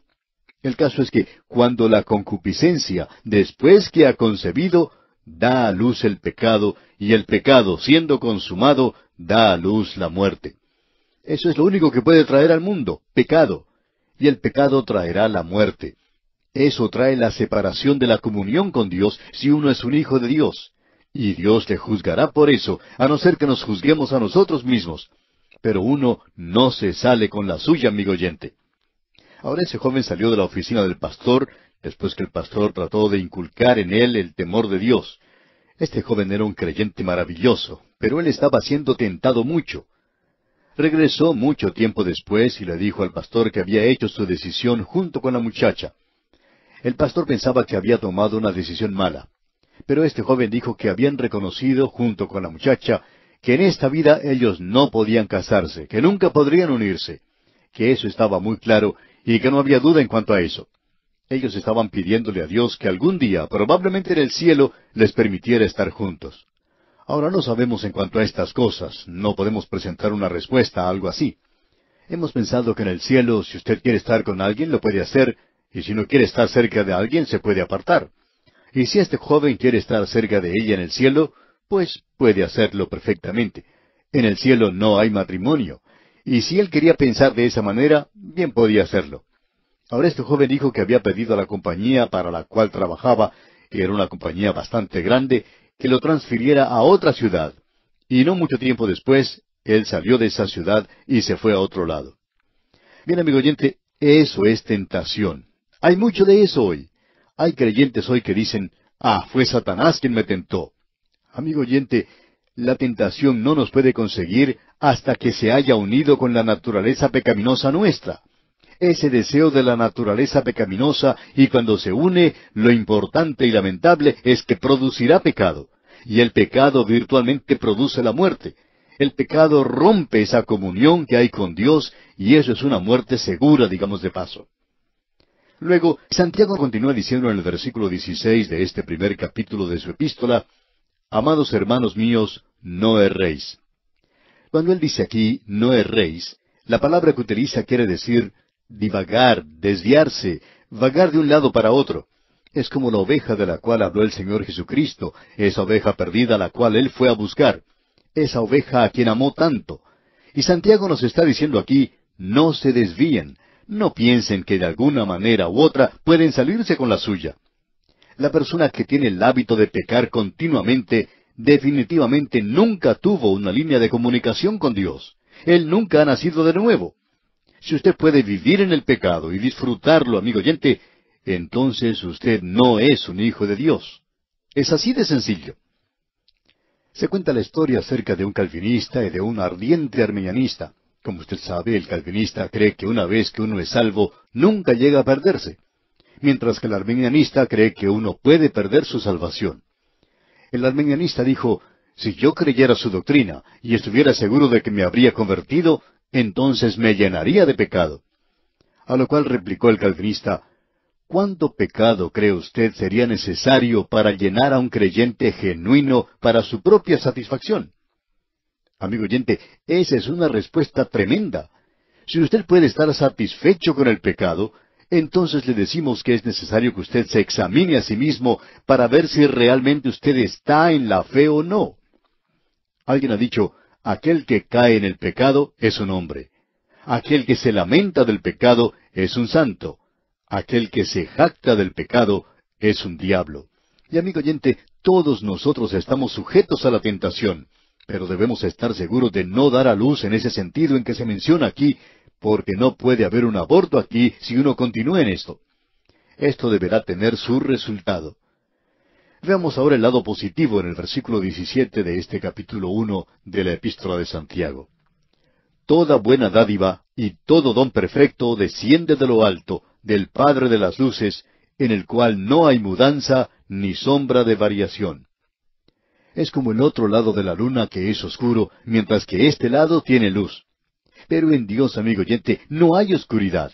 En todos nosotros hay una sombra. Usted y yo hacemos sombra. Se cuenta que cuando Alejandro Magno había conquistado el mundo y regresó a Grecia, él fue a visitar a su antiguo maestro Aristóteles y estaba tan ansioso para contarle a él lo que había ocurrido que entró a su casa. Aristóteles en ese momento estaba dándose un baño.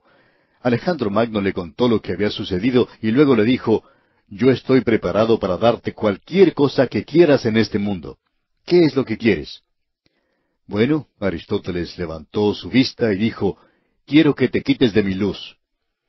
Alejandro Magno estaba parado en la puerta, tapando la luz del día.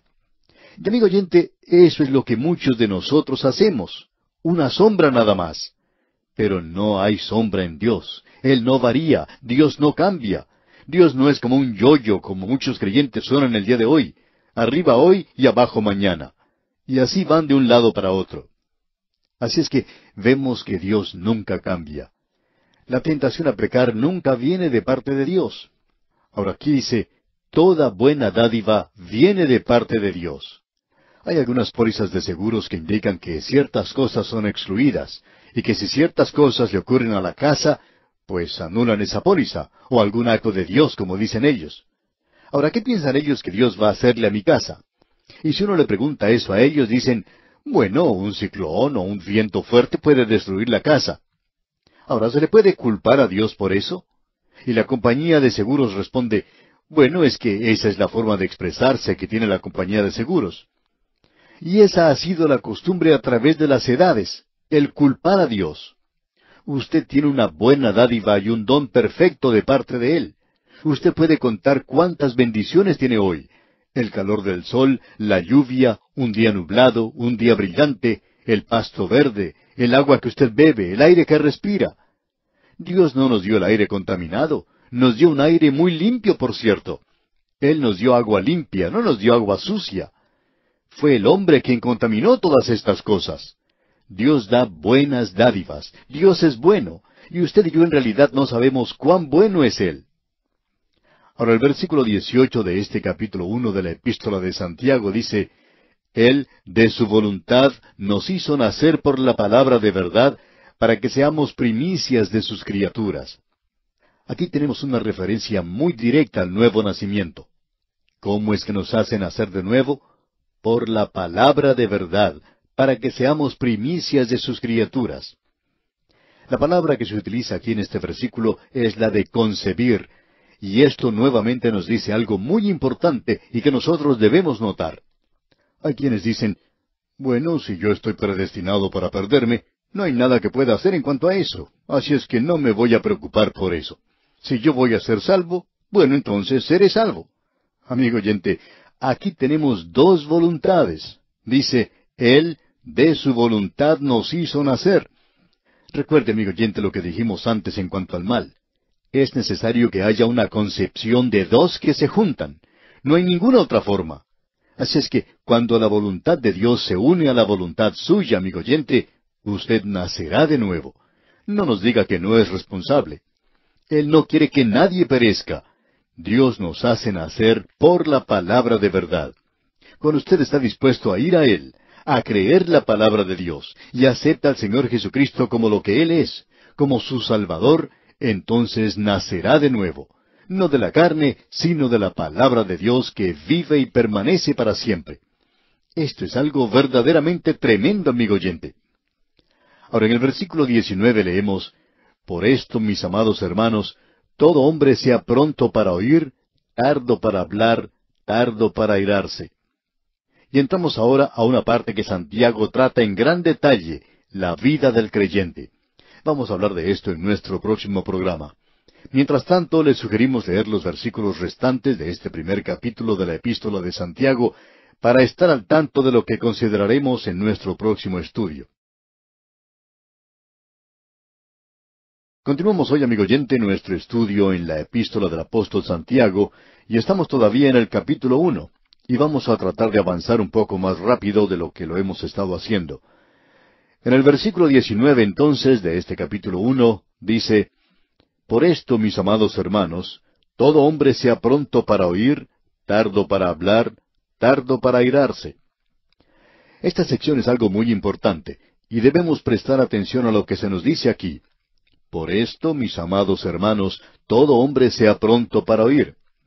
Ahora eso quiere decir que él está hablando a un hijo de Dios. Pronto para oír.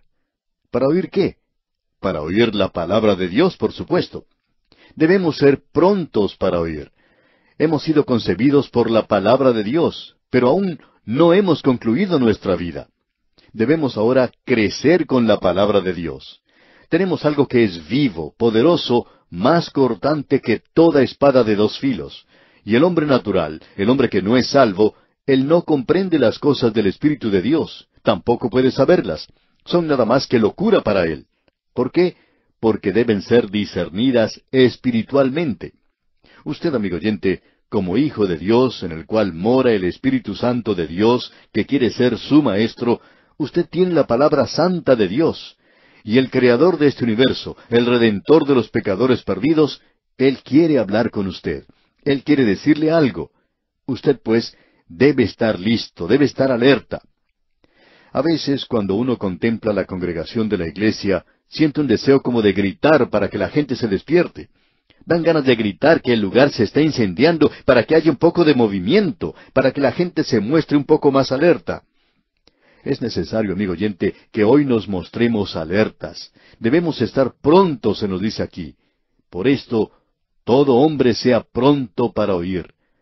Y luego dice, lento o tardo para hablar. Amigo oyente, Dios nos dio dos oídos y una boca. Y debe haber una razón muy directa para eso porque existe el peligro de que hablemos demasiado. Vamos a decir algo y sabemos que esto no es muy popular hoy. Podríamos decir muchas cosas que no son populares en el presente.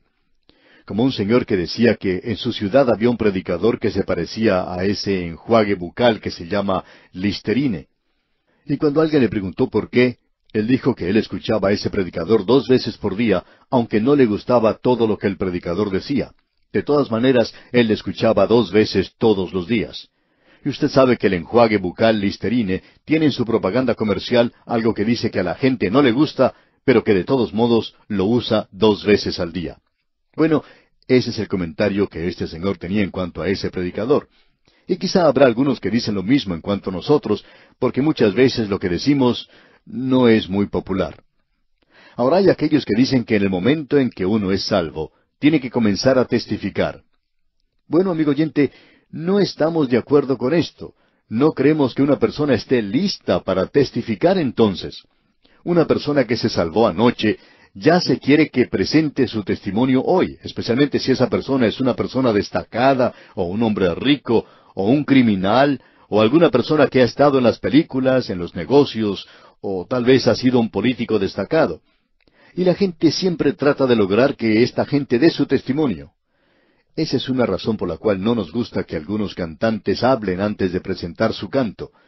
Pueden cantar muy bien y esto no nos molesta, por supuesto, pero sí nos molesta y a veces nos avergüenza las cosas que dicen antes de cantar. Y Dios dice, sé pronto para oír, lento o tardo para hablar. Ahora alguien quizá diga, pero ¿acaso no debemos testificar nosotros? Sí, amigo oyente, pero debemos tener cuidado de cómo testificamos. Es mejor estar seguros en cuanto a la vida de uno primero. Se cuenta cierta historia en cuanto a Sócrates. Un joven se presentó ante él que quería entrar a estudiar con él. Sócrates era un maestro y un filósofo. Así es que este hombre o este joven llega ante Sócrates y antes de que Sócrates pudiera decir una palabra, este joven comenzó a hablar. Él habló por diez minutos, según el reloj del sol de aquel día. Sócrates finalmente, cuando este jovencito terminó de hablar, le dice, yo lo voy a aceptar como estudiante, pero le voy a tener que cobrar el doble. El joven le dice, ¿por qué me va a cobrar el doble? A lo cual Sócrates le respondió, bueno, en primer lugar, debo cobrarle a usted para enseñarle cómo dominar su lengua, y luego cómo utilizarla. Prontos para oír, tardos para hablar. Los creyentes, amigo oyente, necesitamos ser muy cuidadosos en cuanto a esto y no revelar la ignorancia de la palabra de Dios que nos aqueja. Escuchémosle a Él. Ahora alguien quizá diga, bueno, el Salmo 107 dice, díganlo los redimidos de Jehová. Así es, amigo oyente, pero permítanos decirle que Él tiene que saber qué decir y necesita tener mucho cuidado en cuanto a lo que dice. Es por eso que existe ese peligro de permitir a las personas que son artistas o que son destacadas en el mundo de negocios que se levanten y den su testimonio demasiado pronto. La teología de ellos no es muy buena. Necesitan estudiar más la palabra de Dios y no necesitan que alguien les empuje al frente a hablar. Ahora sabemos que esto no es muy popular hoy. Sabemos eso porque a la gente le gusta escuchar lo que a fulano de tal le ha ocurrido y lo que está diciendo. Pero recordemos lo que se nos dice aquí, que debemos ser prontos para oír, tardos para hablar, y luego notemos lo que sigue diciendo, tardo para airarse. No se ponga a discutir en cuanto a la religión y pierda los estribos. Es muy lindo ser fundamentalista, pero uno no debe comenzar a luchar contra todos aquellos que están en desacuerdo con uno en cualquier jota o tilde. Después de todo, amigo oyente, usted no tiene tampoco toda la verdad. La Escritura nos dice que debemos ser tardos para airarnos. No se enoje. Se cuenta que Jonathan Edwards, el tercer presidente de la Universidad de Princeton en los Estados Unidos, y probablemente uno de los grandes pensadores de América, y también uno de los grandes predicadores, tenía una hija con un temperamento incontrolable. Cierto día un joven de la universidad que había estado visitándola, a esta señorita, se enamoró de ella y se presentó entonces ante el señor Jonathan Edwards, como se acostumbraba en aquellos días, algo que dicho sea de paso ya no se usa tanto ahora, y le pidió su mano. Y Jonathan Edwards le dijo, Tú no puedes casarte con ella. El joven respondió, Pero yo estoy enamorado de ella. Jonathan Edwards le volvió a decir, Tú no te puedes casar con ella. Y el joven volvió a decirle, Pero ella me ama a mí. Y otra vez el señor Edwards le dijo, Tú no te puedes casar con ella. El joven entonces le dijo, Bueno, ¿por qué no puedo casarme con ella? A lo cual el señor Edwards respondió, Porque ella no es digna de ti. Y este joven dice, Pero ella es una creyente, ¿no es verdad? Y Edwards respondió, Sí, ella es creyente. Pero la gracia de Dios puede vivir con cierta gente con la cual nadie más puede vivir. Y amigo oyente, hay muchos creyentes que no son dignos hoy, que tienen un temperamento en realidad incontrolable, y eso arruina su testimonio probablemente tanto como cualquier otro asunto en su vida. Ahora el versículo veinte de este primer capítulo de la epístola de Santiago dice, Porque la ira del hombre no obra la justicia de Dios. Y esta es la razón por la cual nosotros no debemos discutir en cuanto a la religión es muy difícil encontrar al individuo que esté de acuerdo con nosotros en un ciento por ciento, o con el cual nosotros estemos de acuerdo un ciento por ciento.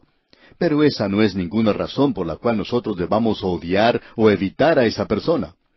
Uno podría decir que la única persona con la cual está de acuerdo ciento por ciento es con uno mismo. Y aquí vemos que dice, porque la ira del hombre no obra la justicia de Dios. Quizá usted, amigo oyente, se sienta como un defensor de la fe y algo por el estilo. Pero, amigo oyente, la ira del hombre sencillamente no obra la justicia de Dios. No se engaña a usted mismo, que usted se enoja por amor a Dios, porque Él no se enoja así. Él está en este asunto de salvar a la gente. Luego en el versículo 21 de este capítulo 1 de la epístola de Santiago dice, Por lo cual, desechando toda inmundicia y abundancia de malicia, recibid con mansedumbre la palabra implantada, la cual puede salvar vuestras almas. Usted, amigo oyente, debe recibir la palabra de Dios, y eso es realmente importante, y eso es lo que se destaca aquí y a lo cual se le da énfasis. También debemos notar que se dice que debemos desechar toda inmundicia, esa es la carne, y podemos también continuar leyendo, y abundancia de malicia, recibid con mansedumbre la palabra implantada. La palabra de Dios es el mejor preventivo contra los pecados de la carne. Creemos que es el mejor de todos. Cierto predicador dijo en una ocasión, El pecado le apartará a usted de la Biblia, y la Biblia le apartará a usted del pecado. Y por cierto que él tenía mucha razón en cuanto a esto. Es capaz de salvar las almas. Ahora él está hablando a aquellos que han sido salvos. Él está hablándole a ellos. Usted recibe la palabra implantada, ha sido plantada en su corazón, ya ha traído la salvación a su corazón, pero usted tiene una vida que vivir como creyente y esta es la salvación de la cual nos está hablando. Yo he sido salvo, yo estoy siendo salvo y seré salvo. La salvación tiene tres tiempos, como ya hemos dicho en otras ocasiones. Y más adelante vamos a entrar en esto en otra epístola. Ahora, continuando aquí con el versículo 22, leemos, Pero sed hacedores de la palabra y no tan solamente oidores, engañándoos a vosotros mismos. Hay muchas personas, amigo oyente, que lo único que recuerdan de esta epístola de Santiago es este versículo. Este es un versículo muy familiar, muy conocido para ellos. Usted y yo, amigo oyente, vivimos en un tiempo cuando tenemos muchas traducciones de la Biblia y se están multiplicando cada día. Descubrimos que muchas de estas traducciones dejan mucho que desear, aun cuando las traducciones antiguas necesitan ser mejoradas en algunas partes. Pero hoy nosotros necesitamos una nueva traducción. Ahora quizá esto le parezca algo extraño a usted cuando nosotros decimos esto, pero esa debe ser una traducción que sea diferente a muchas de las traducciones nuevas que están saliendo, y tiene que ser superior a los esfuerzos más modernos. Y amigo oyente, ¿quiere saber algo que quizá le sorprenda a usted? ¿Sabía usted que cualquier creyente que nos esté escuchando hoy puede hacer la nueva traducción? Usted puede hacer una nueva traducción de la Biblia. Ahora alguien nos puede decir, usted no me conoce a mí, yo no soy capaz de hacerlo. Yo no conozco muy bien el lenguaje original y no sé de qué manera uno debe tratar un manuscrito. A pesar de sus limitaciones, amigo oyente, quizá usted tenga muchas limitaciones, pero aún es posible hacer la mejor traducción de las escrituras que se haya hecho hasta el presente. ¿Y sabe usted cuál es el nombre de esa traducción? Se conoce como la traducción de los hacedores. Pero sed hacedores de la palabra esa es una buena traducción, una traducción de los hacedores. Llegamos ahora al verdadero pragmatismo de Santiago. El apóstol Pablo expresó el mismo pensamiento en una forma un poquito diferente, con frases diferentes, cuando dijo allá en su segunda epístola a los Corintios, capítulo tres, versículos dos y tres, Nuestras cartas sois vosotros, escritas en nuestros corazones, conocidas y leídas por todos los hombres, siendo manifiesto que sois carta de Cristo expedida por nosotros, escrita no con tinta, sino con el Espíritu del Dios vivo, no en tablas de piedra, sino en tablas de carne del corazón. El mundo no está leyendo hoy la Biblia, amigo oyente, pero están leyéndolo a usted y a mí. Esa es la mejor traducción, amigo oyente. Y hay un poemita que pregunta, ¿qué es el Evangelio según usted? En el versículo 22 de este primer capítulo de la epístola de Santiago encontramos las demandas de la palabra. Luego en los versículos 23 y 24 el peligro de la palabra y luego en el versículo 25 el diseño de la palabra. En otras palabras, aquí tenemos aquello que es sustancia, aquello que realmente nos alcanza en el lugar mismo donde vivimos. Aquí tenemos los imperativos o demandas de la palabra. Leamos una vez más este versículo 22. Pero sed hacedores de la palabra y no tan solamente oidores, engañándoos a vosotros mismos.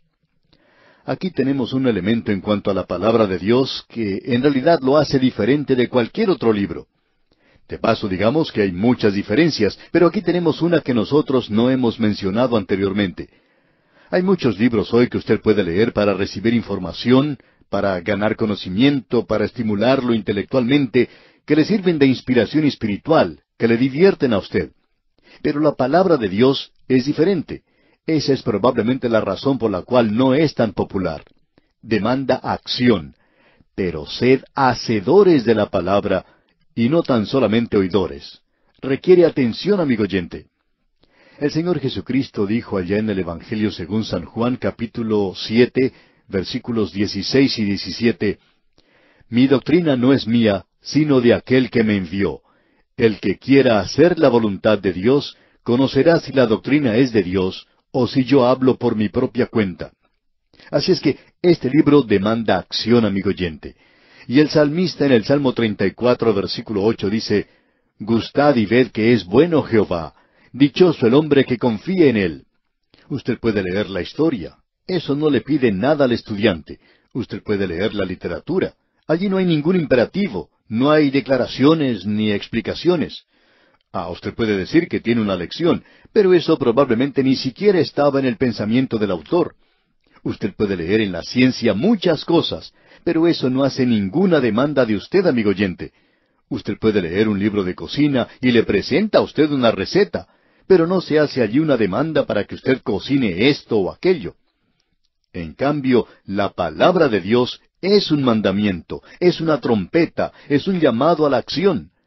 Y el apóstol Juan dice en su primera epístola capítulo cinco versículos once y doce, y este es el testimonio, que Dios nos ha dado vida eterna, y esta vida está en su Hijo. El que tiene al Hijo, tiene la vida. El que no tiene al Hijo de Dios, no tiene la vida. El primer mensaje del Señor Jesucristo era arrepentíos. Su segundo mensaje, venid a mí. Y el tercero, creed. La palabra de Dios, amigo oyente, demanda el creer. Toda la propaganda que uno observa hoy es de mucha presión, demanda. Se utiliza en la radio y en la televisión, en cartelones, así como también en revistas y periódicos. Ellos tratan de vender. Nosotros no somos solo sufridores de un lavado cerebral en cuanto a las noticias en la radio y la televisión, sino que también estamos sufriendo un lavado cerebral por medio de la propaganda comercial que recibimos. Ah, usted debe comprar cierta clase de automóviles. Y se le dice lo maravilloso que es este año y lo superior que es al del año anterior. Y todo lo que se le cambió fue una perilla muy pequeñita por allí. Eso es toda la diferencia que tiene. Y se le dice a usted que si no usa esta clase de desodorante, entonces usted puede hasta perder su trabajo. Pero la palabra de Dios, amigo oyente, dice, usted va a morir en sus pecados si usted no se vuelve a Él. Y amigo oyente, esto también tiene mucha presión. Dios dice, ahora es el tiempo aceptable. He aquí ahora el día de salvación. Creemos que uno de los fracasos más grandes de la Iglesia de los años recientes se encuentra precisamente en esta área. Después de la Segunda Guerra Mundial, el mundo occidental salió de los refugios contra las bombas y se dirigió a la Iglesia, por temor a las bombas, no por el temor de Dios el número de los que se hicieron miembros de la iglesia y la asistencia a la iglesia se elevaron a nuevas alturas. Y el que era pastor en esa época podía ver una iglesia llena. Eso era algo maravilloso, glorioso. Pero al mismo tiempo aumentó la inmoralidad y la desobediencia a las leyes un ciento por ciento. La embriaguez, el divorcio, la delincuencia juvenil, todo eso aumentó. Y hubo un derrumbe total de la separación. ¿Qué es lo que sucedió? Amigo oyente, estábamos presentando la palabra de Dios en una voz pasiva, en un modo subjuntivo, y aquí es presentada en modo imperativo. Nos olvidamos que la Biblia con cubierta de cuero necesita también zapatos que la acompañen. Estamos aprendiendo las escrituras de memoria, pero eso no es todo. Tiene que ser algo que se mueva, tiene que avanzar. Y aquí dice, pero sed hacedores de la palabra y no tan solamente oidores. ¿Por qué? Porque usted se va a engañar a sí mismo si no lo pone en acción. Amigo oyente, el imperativo que tenemos aquí es en realidad para el Hijo de Dios que ha nacido de nuevo. Dios no le pide nada a la persona que no ha sido salva, solamente una cosa. Y eso en realidad no es el hacer algo. La gente se aproximó a él y le dijo, ¿qué debemos hacer para heredar la vida eterna? Y él dijo, ¿hacer? Esta es la obra de Dios, que creáis en el que Él ha enviado. El hacer en el libro de Dios para las personas que no son salvas es sencillamente creer en Cristo. Dios no le está pidiendo nada a la persona que no es salva, solamente que crea y que confíe en Cristo. El oír, amigo oyente, le llevará a usted a hacer algo, no a una acción de rito y de hábito. No es algo triste y monótono, no es algo de rutina, sino que la intención de la palabra de Dios es producir una acción creativa, es el hacer algo productivo, un vivir exhilarante y una experiencia emocionante. Si somos motivados por un deseo interior de que estamos disfrutando de un vivir lleno del Espíritu, entonces usted y yo podemos salir a practicar cualquier deporte y disfrutarlo, y también disfrutar de un estudio bíblico de una manera completa, así como en el deporte, y esto será algo realmente emocionante para nosotros. No seáis oidores solamente. Hay mucha diferencia entre un estudiante y uno que oye nada más. Y vamos a tener que dejar nuestro estudio aquí por hoy, amigo oyente, y lo continuaremos en nuestro próximo programa. Continuamos hoy, amigo oyente, nuestro viaje por la epístola de Santiago. Nos encontramos en una sección de esta epístola donde Santiago da una clarificación de la fe cristiana. Aquí tenemos la prueba de ella. Encontramos en realidad aquí el consuelo de ella. Si usted tiene una fe genuina, descubrirá que Dios le probará de una forma u otra. Él lo hace con el propósito de probar que usted es verdaderamente su hijo. Dios no solo prueba la fe por medio de dificultades, pero Él nunca prueba la fe por medio del mal. Dios prueba la fe por medio de la palabra. Allí es donde nos encontramos hoy. Nunca por las palabras de los hombres, sino por su palabra. El hacer, no la doctrina, es en realidad la prueba final de la fe. El saber o el conocer no es suficiente, amigo oyente. Ahora no queremos que usted nos malentienda. Conocer es muy importante, y vamos a poder aclararlo cuando estudiemos el versículo 23. Pero queremos concluir con nuestro pensamiento en cuanto a lo que dice el versículo 22 hoy. El versículo 22 del capítulo 1 de la epístola de Santiago dice, Pero sed hacedores de la palabra, y no tan solamente oidores, engañándoos a vosotros mismos. Aquí nos está diciendo, pero sed. Esta no es una forma ordinaria del verbo ser, sino que en realidad aquí se está utilizando la palabra gineste, y eso puede ser traducido como nacer. Literalmente significa llegar a ser o nacer, algo que llega a existir. Así es que esta forma no es la forma imperativa del verbo ser o estar, sino más bien este verbo gineste, que aquí quiere decir que uno ha nacido de nuevo. En otras palabras, Él está hablando aquí a los creyentes. Dios no está pidiéndole a los incrédulos o a aquellos que no son salvos que hagan algo. Él no le está pidiendo a usted, amigo oyente, que haga eso. Dios está hablando aquí a sus hijos. Él no le manda a los hijos del diablo que hagan nada. Como hemos dicho, Él nunca castiga a los hijos de Satanás. Tampoco les pide a ellos que hagan algo. Él no le pide al mundo incrédulo en el día de hoy que haga algo. Él quiere decirles a ellos que Él ya ha hecho algo. En cierta ocasión un grupo de muchachos se encontraba jugando fútbol y el padre de uno de ellos se acercó al campo de juego. Él no vino a buscar a todos los muchachos que allí se encontraban, sino a su propio hijo. Él no había cumplido con sus obligaciones en la casa y su padre lo vino a buscar. Él no le pidió a ninguno de los otros muchachos que fuera con él para hacer esto o aquello, sino que le pidió a su propio hijo que regresara. ¿Sabe por qué, amigo oyente? Porque ese era su hijo. Los otros muchachos no eran hijos suyos. Y Dios, amigo oyente, no le está pidiendo a usted nada hasta cuando llegue a ser su hijo. Entonces aquí dice, pero sed. Se refiere a aquellos que han llegado a ser hijos de Dios. Pero sed hacedores de la palabra, y no tan solamente oidores, engañándoos a vosotros mismos. Uno debe ser un hacedor de la palabra. Eso es muy importante de notar de nuestra parte. Esto es algo muy difícil para los predicadores.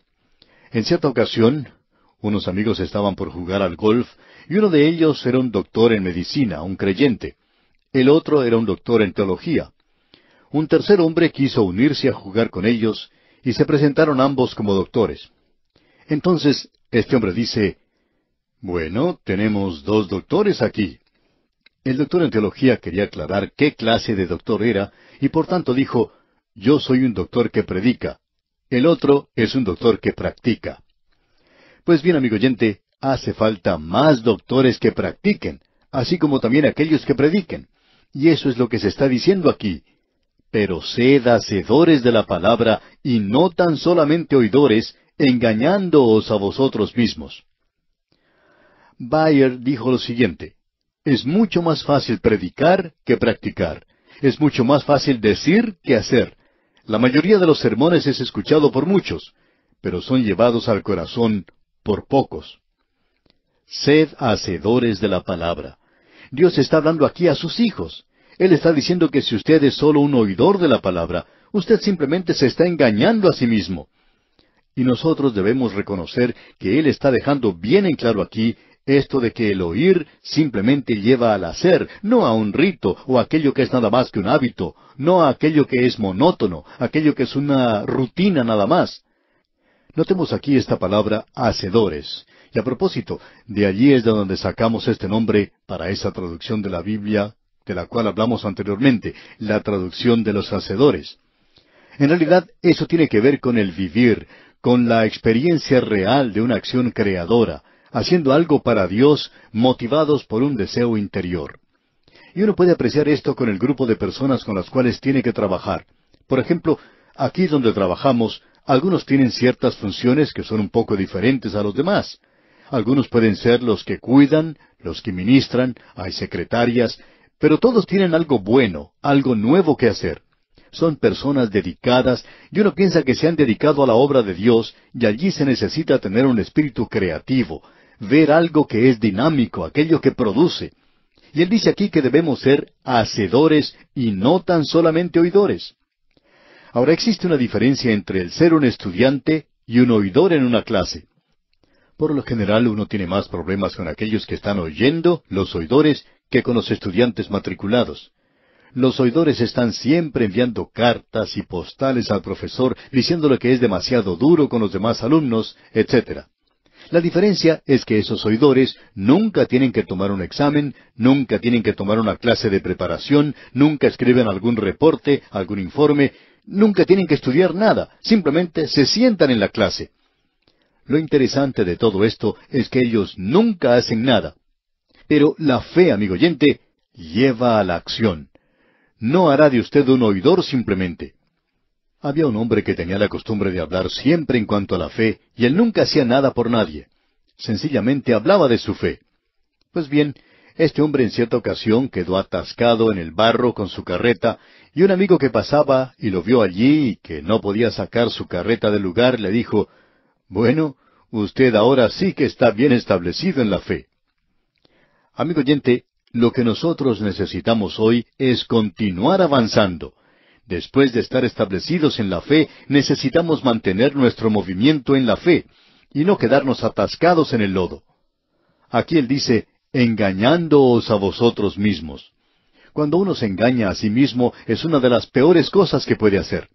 Juan dice que aquellos que dicen que no tienen ningún pecado en sus vidas no están engañando a nadie más sino a sí mismos. Es muy fácil el explicar las acciones de uno, el racionalizar el hecho de que uno no está haciendo nada. Ahora en el versículo 23 nos encontramos con el peligro de la palabra. Leamos el versículo 23 de este capítulo 1 de la epístola de Santiago. Porque si alguno es oidor de la palabra, pero no hacedor de ella, éste es semejante al hombre que considera en un espejo su rostro natural. Esta palabra espejo aquí se refiere a cierto artefacto que se utilizaba en aquel tiempo y que era de un bronce muy bien pulido. Y un espejo es algo muy interesante. Aquí es un cuadro de la palabra de Dios. Cuando usted mira en un espejo, contempla la reflexión de usted mismo. Usted se puede ver a sí mismo en un espejo, y se puede ver tal cual es. Usted recuerda ese cuento de hadas, en el cual se habla de dos hermanas.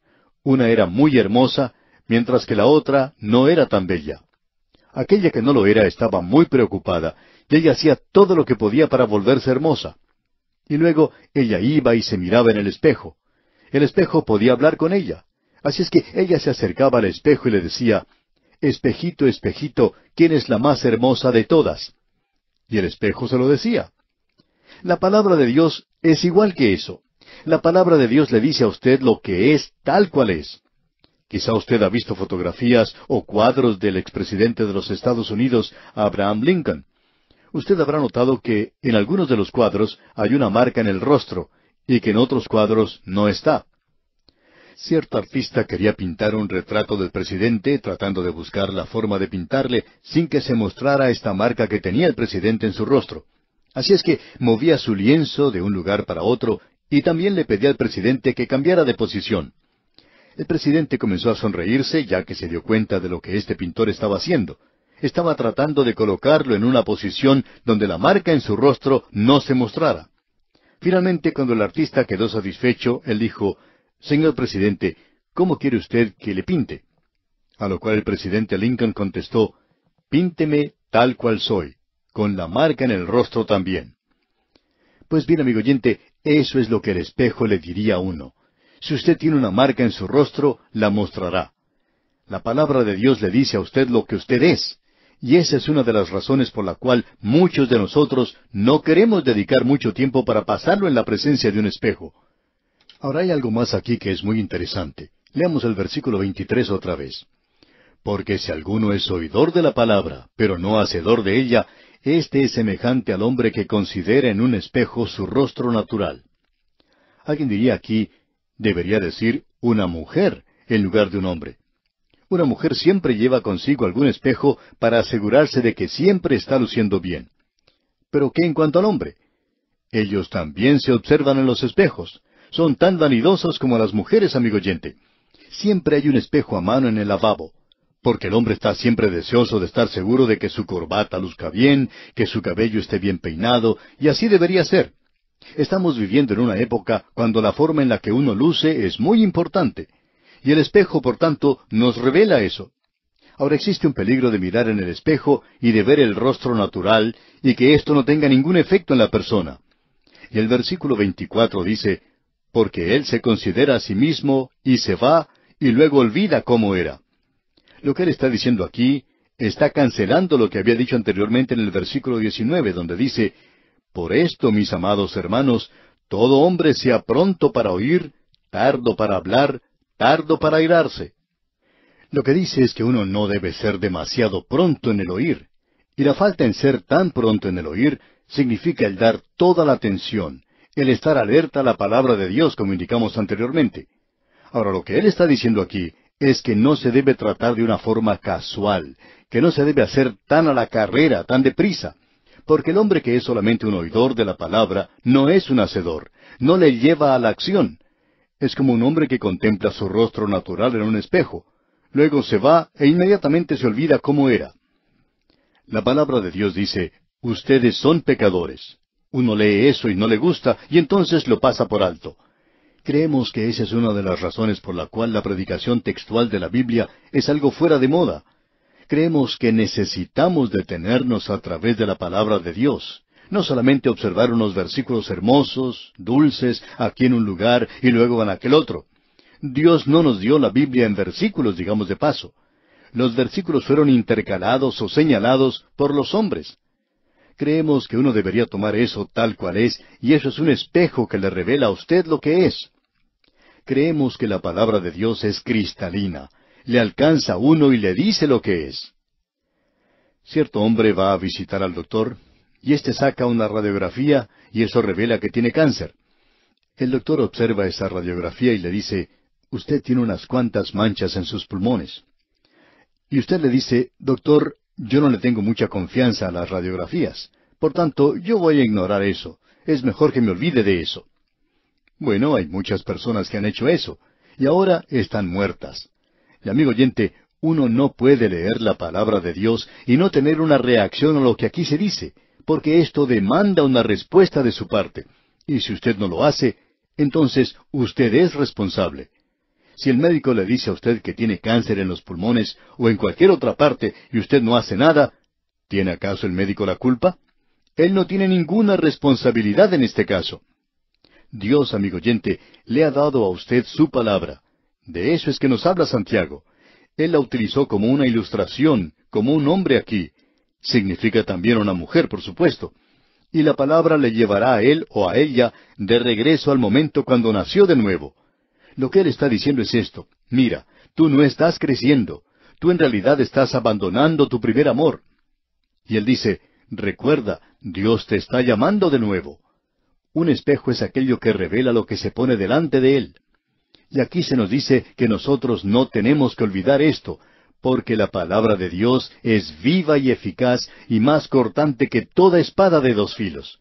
Nos revela a nosotros lo que somos y penetra debajo de la superficie. La Biblia no es un libro muy popular hoy, según creemos nosotros.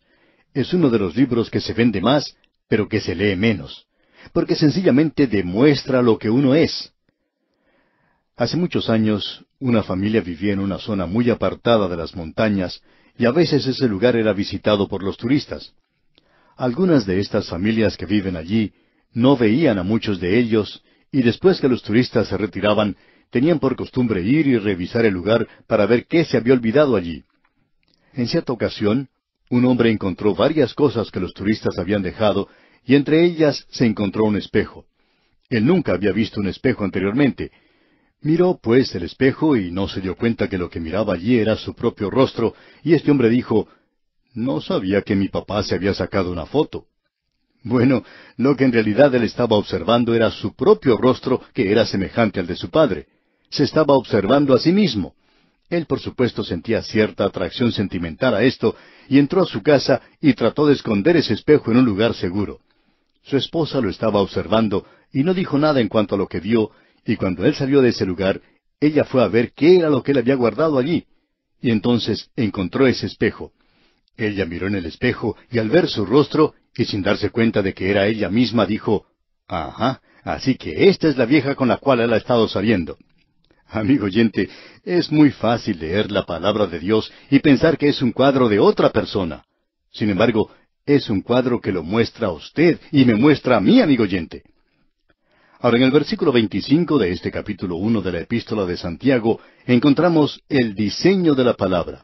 Allí dice, Mas el que mira atentamente en la perfecta ley, la de la libertad, y persevere en ella, no siendo oidor olvidadizo, sino hacedor de la obra, éste será bienaventurado en lo que hace. Aquí tenemos el diseño de la palabra. En aquellos días el espejo se colocaba en el suelo y uno tendría que inclinarse para verse en él. Y esto indica que uno necesita una mente humilde. Eso es lo que indica esto de mirar atentamente. Luego se nos dice que tenemos la perfecta ley, la de la libertad. Esto no es una referencia a la ley de Moisés. Es la ley de la gracia, y vamos a hablar en cuanto a esto. Santiago no habla en cuanto a la ley de la misma manera en que habla Pablo. Cuando el apóstol Pablo habla en cuanto a la ley, se refiere a la ley de Moisés. En cambio, cuando Santiago habla de la ley, se refiere a la ley de fe, porque existe una ley de fe. Hay un amor en la ley en el Antiguo Testamento y hay ley en el amor en el Nuevo Testamento. Si el Hijo os libertare, seréis verdaderamente libres. Pero un momento, amigo oyente. Dios dijo, Si me amáis, guardad mis mandamientos. Él también dijo, Sobrellevad los unos las cargas de los otros y cumplid así la ley de Cristo. ¿Cuál ley es la ley? Juan dice en su primera epístola, Pues este es el amor a Dios, que guardemos sus mandamientos. Cuando uno está manejando por la carretera y hay mucho tráfico allí, esa carretera también tiene sus leyes. Usted no tiene libertad de dirigirse en cualquier dirección o en cualquier forma que quiera. Usted tiene que obedecer las leyes del tráfico. De otra manera, tendrá problemas. De igual manera, hay libertad en Cristo. Esa es la única libertad verdadera. Usted puede estar seguro de una cosa cuando está en Cristo, que usted va a obedecerle y que sus leyes no son difíciles, no son rigurosas. El hecho de que usted sea un hijo de Dios y tenga libertad en Cristo, esa libertad no le permite quebrantar los diez mandamientos. Las leyes son para los débiles. Las leyes han sido dadas para el hombre natural. Pero ahora hay leyes para el Hijo de Dios, y eso es muy importante. Bien, amigo oyente, vamos a detenernos aquí por hoy, y Dios mediante concluiremos esta sección en nuestro próximo programa. Mientras tanto, le aconsejamos que usted lea el resto de este capítulo uno de la Epístola de Santiago y también el capítulo dos para que esté más familiarizado con su contenido cuando lleguemos a nuestro próximo estudio. Continuamos hoy, amigo oyente, nuestro estudio en el primer capítulo de la epístola de Santiago. Y vamos a considerar lo que dice el versículo 25 una vez más, donde Dios prueba la fe por la palabra. Nunca podemos escaparnos, por así decirlo, de la palabra de Dios. Cada niño desea escuchar la voz de su padre, especialmente si es una voz de consuelo, así como una voz de corrección. Alguien que no está interesado en la palabra de Dios, o que no permanece allí, si esa persona en realidad es un hijo de Dios, lo cual dudamos, pero si lo es, va a tener dificultades, es decir, va a tener dificultades si no está interesado en escuchar la palabra de Dios.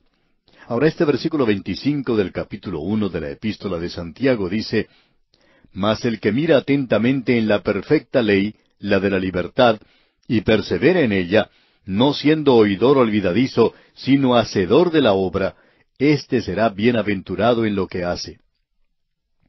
Esa ley de la libertad que se menciona aquí es la ley de Cristo, los mandamientos que Él ha dado. Él dice, Si me amáis, guardad mis mandamientos. Él está llevando a usted a un plano mucho más elevado que lo que podían hacer los diez mandamientos originales. Como dijimos en nuestro programa anterior, si usted llega a ser un hijo de Dios y dice que no está bajo el sistema de la ley de Moisés, eso no quiere decir que usted va a salir y quebrantar los diez mandamientos. A propósito, las leyes son para aquellos que quebrantan leyes, para los débiles, para los ignorantes. Les enseñan qué hacer, dónde ir y cómo hacer las cosas y castigará a aquellos que quebrantan o desobedecen esas leyes. Los ciudadanos honrados no necesitan la ley. No sé en cuanto a usted, amigo oyente, pero nosotros no conocemos quizá la mitad de las leyes de la zona donde vivimos. Lo que sí podemos decirle es que cada abogado de mala fama la conoce, porque busca puntos débiles en esas leyes para poder quebrantarlas. Dios en el día de hoy ha llamado a sus hijos a un nivel mucho más alto. Un hijo de Dios tiene una espontaneidad espiritual, un motivo mucho más elevado, una inspiración de Dios. El creyente no desea asesinar a nadie. Él vive sobre la ley. Él es motivado ahora por el amor del Salvador, desea obedecerle a Él. Mientras más leamos y estudiemos la palabra de Dios, más podemos aprender, amaremos más y vamos a vivir, y el gozo llenará e inundará el alma. Nosotros no somos como los esclavos de galera, azotados y encadenados a un banco y haciendo aquello que no queremos hacer. ¿Le pide Dios a los que no son salvos que sean hacedores de su palabra? Bueno, en cierto sentido sí. En el Evangelio según San Juan capítulo seis versículos veintiocho y veintinueve leemos Entonces le dijeron ¿Qué debemos hacer para poner en práctica las obras de Dios?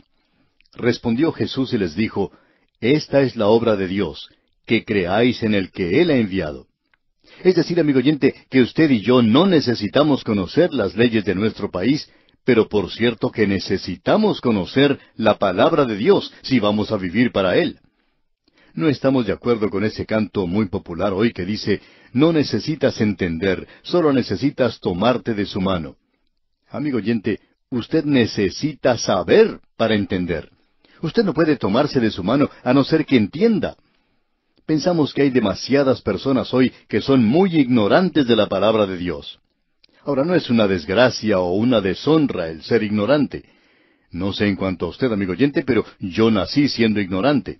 Yo no sabía la diferencia entre una A y una B cuando nací.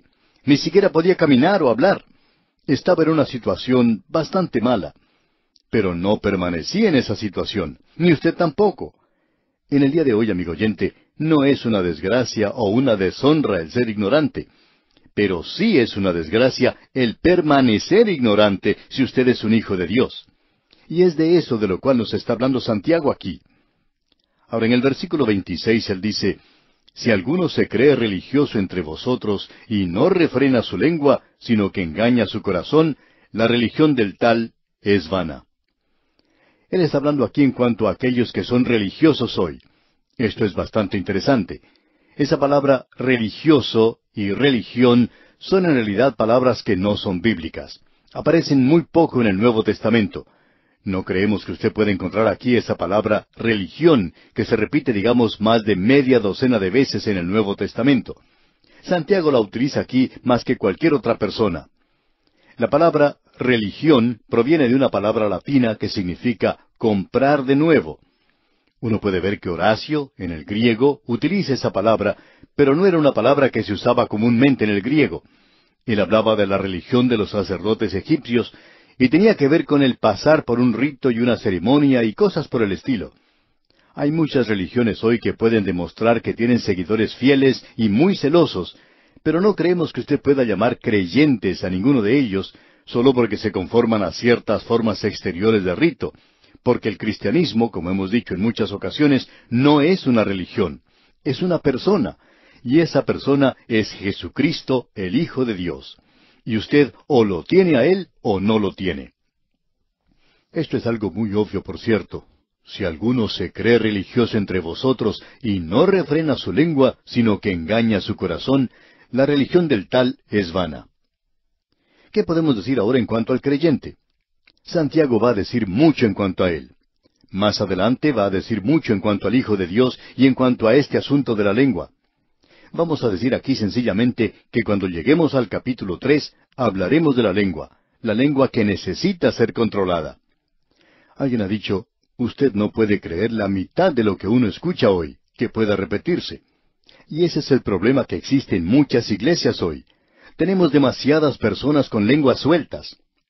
Ahora en el versículo 27 Santiago habla de la religión pura. Si usted en realidad quiere una religión y aquello que es sin mácula, creemos que la podemos reconocer aquí mismo. Leamos el versículo 27. La religión pura y sin mácula delante de Dios el Padre es esta, visitar a los huérfanos y a las viudas en sus tribulaciones y guardarse sin mancha del mundo. Esta es una declaración tremenda, amigo oyente. En este versículo tenemos que lo puro está del lado positivo, mientras que sin mácula está del lado negativo. Usted necesita tener ambas cosas si tiene la verdadera clase de religión. Y por cierto que el cristianismo debería producir esto. Por el lado positivo, él dice que se debe visitar a los huérfanos y a las viudas en sus tribulaciones. Esto significa lo siguiente, que un hijo de Dios debe estar en contacto, en contacto personal con los dolores y las tristezas del mundo y con los problemas de la gente en el mundo. Aquí podemos observar que los políticos actúan con mucha inteligencia. Ellos tomaron esto de la Biblia, digamos de paso. Ellos salen a la calle y se reúnen con la gente y le dan la mano y hacen de esto un contacto personal. Nosotros como creyentes debemos actuar de esta manera. Debemos salir y hacer contactos personales con las demás gentes. Esto hace que la gente responda, y debemos ir a donde está la gente y pensamos que existe un gran peligro en el hecho de que tenemos una religión de santuario y no tenemos una religión de las calles, y necesitamos eso. Esto significa que si usted o yo, nosotros, estamos en contacto con el mundo, debemos estar en contacto con el mundo con una ternura y amabilidad y debemos ayudar a los demás. Veamos ahora el lado negativo. Dice que esa persona se guarda sin mancha del mundo. El contacto con el mundo no quiere decir que uno deba mezclarse en las cosas del mundo. El Señor Jesucristo dijo, No ruego que los quites del mundo, sino que los guardes del mal. Por tanto, usted y yo, amigo oyente, debemos tener este contacto personal. Y permítanos darle aquí una ilustración. Ocurrió que un muchachito muy pequeño perdió a su madre. Su papá trató de criar al muchachito solo y por supuesto tenía que ir a trabajar y hubo un matrimonio que tenía interés en este jovencito. Eran personas muy ricas y también parientes. Así es que se acercaron al padre y le dijeron, mira, tú no eres capaz de dar a ese muchachito todo lo que necesita en la vida. Él era un hombre muy pobre. Estos parientes eran muy ricos. Ellos decían, nosotros sí podemos darle de todo. Así es que el padre fue a conversar con su hijo y habló muy seriamente con él en cuanto a ir a vivir con esta gente, con sus parientes. Él le dijo a su hijito, ellos te pueden dar una bicicleta, juguetes, regalos maravillosos en la Navidad y te llevarán a pasear muchas veces. Ellos pueden hacer muchas cosas por ti que yo no puedo hacer. Y el hijito contestó, yo no quiero ir con ellos. El padre le preguntó entonces, ¿por qué? Y el niño respondió, porque ellos no me pueden dar a ti. Y eso era lo que este muchachito quería. Y hay muchas personas hoy, amigo oyente, que desean tener un contacto personal. Y uno puede traerles un contacto cristiano, a gente que necesite esa dulzura y ese amor y consideración y amabilidad. Pero debemos recordar que debemos guardarnos sin mancha de este mundo porque uno no puede mezclarse tanto en eso que puede llegar a ser algo muy peligroso. Bien, con esto llegamos ahora al capítulo dos de esta epístola de Santiago. Y a los primeros trece versículos de este capítulo vemos que Dios prueba la fe por la actitud y la acción en cuanto a la distinción de las personas. ¿Cómo trata usted a la gente que está en una posición diferente a la suya en la sociedad? ¿Cómo trata usted a una persona rica? ¿Cómo trata usted a un hombre pobre? ¿Cómo trata usted a la persona de la clase media? ¿Cómo trata usted a esa gente con la cual se encuentra hoy? Y Santiago va a hablar de esto en esta porción de las Escrituras ante nosotros. Esta sección que tenemos aquí es en realidad una guerra de Dios contra la pobreza. Lo interesante es que es una guerra de Dios contra las riquezas. Es una guerra de Dios contra las pobrezas y las riquezas. Eso es algo diferente a lo que hace un gobierno. En la mayoría de los casos, los gobiernos no son capaces de tratar efectivamente con este problema. ¿Cuál es el verdadero problema? Bueno, lo que él nos va a decir aquí, y Santiago tiene mucho que decir en cuanto a los ricos. Este hombre parecería ser un radical, pero no creemos que sea radical en el sentido moderno de la palabra. Amigo oyente, él por cierto que habla muy duro contra los ricos en el capítulo cinco de su epístola. Encontramos allí que habla directamente a los ricos. Y aquí él tiene algo que decir en cuanto a esto. Las riquezas y la pobreza pueden ser una maldición, y parte de la maldición del pecado sobre la raza en realidad es la pobreza y las riquezas. Usted recuerda que el escritor de los Proverbios dice, No me des pobreza ni riqueza. La gente más difícil de alcanzar en el presente son aquellos que se encuentran en pobreza, así como también aquellos que forman parte del grupo más rico. Parece casi imposible el poder alcanzar a cualquiera de estas dos clases hoy con la palabra de Dios. ¿Cuál es el problema? Bueno, el problema en realidad es una falta de balance en la riqueza del mundo. El gran problema no se encuentra en realidad entre los partidos políticos, tampoco se encuentra entre las razas. No pensamos que sea ese el problema de este mundo. El problema del mundo es la falta de balance de la riqueza que existe. Por ejemplo, tenemos una nación como la India que tiene millones y millones de personas. Se decía que para los años ochenta o el año dos mil habría un billón de personas en la India. Y aún con esa población tan tremenda, que tienen una quinta parte de la población del mundo, en ese lugar existe el hambre y la malnutrición. Se mueren de hambre miles de personas allí y uno puede observar el lujo y la abundancia que tienen los ricos. Dios habla de ese problema en esta epístola. Él está del lado de los pobres. Nos agrada mucho ver esto. Después de todo, cuando el Señor Jesucristo vino a este mundo, Él no nació en una familia rica. Él nació para morir en la cruz. Él nació en la pobreza. Él nació en un pesebre prestado. Él tuvo que pedir comida prestada a un muchachito para alimentar a la multitud. Él habló desde un bote prestado. Él nunca tuvo un lugar donde reclinar su cabeza. Él tuvo que pedir prestada una moneda para ilustrar una verdad. De allí tenemos una razón doble por la cual él pidió prestada esa moneda. Él quería utilizar el dinero de otro hombre, pero no tenía dinero en sí mismo. Él pidió prestado un pequeño asno para entrar a Jerusalén. Él pidió prestado una habitación para celebrar la Pascua, y él murió sobre una cruz prestada en realidad. Esa cruz pertenecía a Barrabás, no le pertenecía a él. Le colocaron a él en una tumba que tampoco le pertenecía, sino que era de José de Arimatea. Amigo oyente, él va a hablar aquí en cuanto a la pobreza y a la riqueza. En cierta ocasión, un predicador se dirigió a una clase de estudiantes, en la mayoría pobres. Muchos de ellos tenían que pedir dinero prestado para ir a la universidad y además tenían que trabajar para pagar ese dinero y la escuela. Y ese hombre habló en la reunión y él estaba ganando mucho dinero por la tarea que realizaba. Y este hombre hablaba en esa ocasión sobre el tema de las bendiciones de la pobreza. Pero amigo oyente, ese hombre no tenía un mensaje para los jóvenes. ¿Cómo podía él hablar en cuanto a la pobreza cuando estaba ganando tanto dinero, mucho más dinero que aquellos que le escuchaban? Así es que lo que él decía entraba por un oído y salía por el otro. No alcanzaba a esa gente. Parte de la maldición que el Señor Jesucristo tuvo que llevar en sí mismo fue la pobreza. Y las riquezas, amigo oyente, pueden ser también una maldición, y Él nos va a mostrar eso en esta epístola. El apóstol Pablo ya dijo, raíz de todos los males es el amor al dinero. Y por cierto que el apóstol Pablo y Santiago ya se han puesto de acuerdo en todo esto. Uno puede gastar su dinero en cosas malas, uno puede depositar su dinero en un banco equivocado, se nos dice que no debemos reunir tesoros para nosotros mismos aquí en la tierra. Debemos poner nuestro tesoro en el cielo.